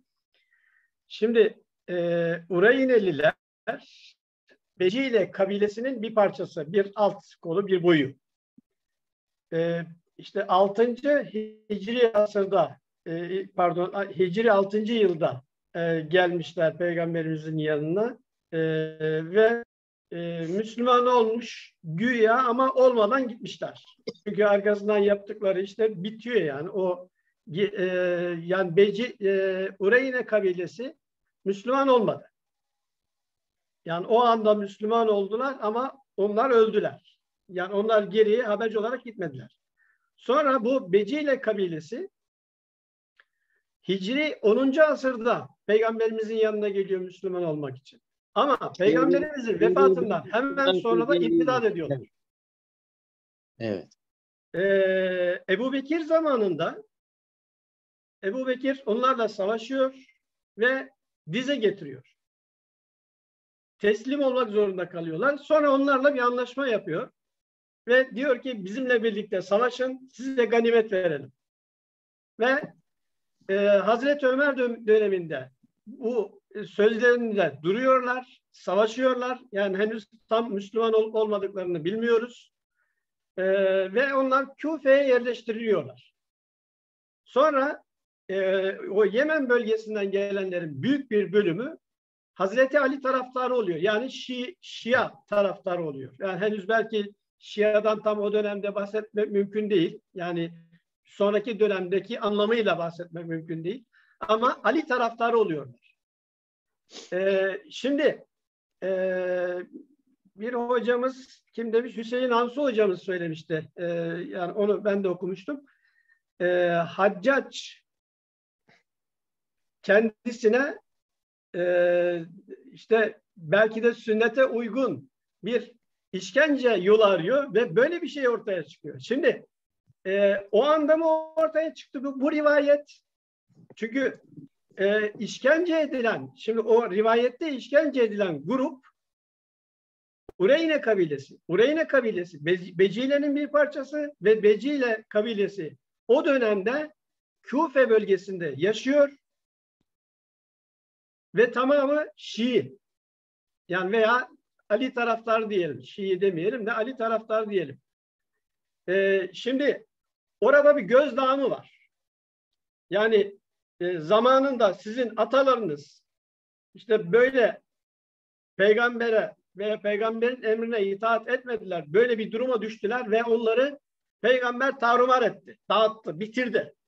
Çok şiddetli işkenceler. Yine bir gözdağı da Ali taraftarlarından mı acaba? Yani bu işin de e, araştırıcılar tarafından dikkate alınması gerektiğini düşünüyorum ben.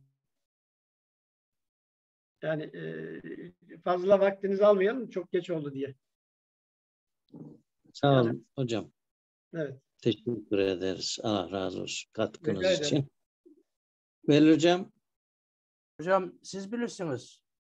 Yani Hocam ben e, bir buraya bir şey girmek istiyorum da müsaadeniz olursa kıymetli hocam. Buyur, buyur hocam. E, Mehmet Apaydın hocamın Maide suresi 33. ayet ile ilgili görüşleri vardı. Şimdi Maide 33 ayetinde e, ve yes'avne fil ardi fesada oradaki ayetteki yeryüzünde bozgunculuk yapanlar kastettiği Beni İsrailoğulları. Yani 32. ayete baktığınızda 32. ayette Maide 32'de İsrailoğullarının insanları öldürmesiyle ilgili ayet var. Akabinde 33'te de bundan bahsedip hükmü ortaya koyuyor allah Teala. Yani orada Peygamber Efendimizin aynı şekilde şunu da engelliyor. Peygamber Efendimizin böyle bir ceza eğer uygulamışsa bundan dolayı bu cezanın yapılmayacağını ancak cezanın Allah'a ve peygambere karşı gelmekle, yeryüzünde fesatlık yapmakla uygulanabileceğini söylüyor.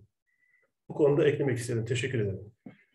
Yani o görüş benim değildi. Leys bin Sa'd'ın görüşüydü vardı. Evet. Leys bin Sa'd tefsir e, kaynaklarında Leys bin Sa'd'a nispet edilen bir görüşü aktardım sadece. Benim herhangi bir tespitim yok o konuda. Neyse bu konuda bir fazilet, güzellik gösterdiniz hocam. Ee, rahmetli Yaşar Nuri Öztürk Hoca ile bir görüşmemiz, tartışmamız olmuştu da işte ben e, hukukçuyum, ben fıkıhçıyım filan. Hocam dedim rahmetliye bütün sıkıntı da oradan çıkıyor. Keşke tasavvufçu olarak kalkanı etsen dedim.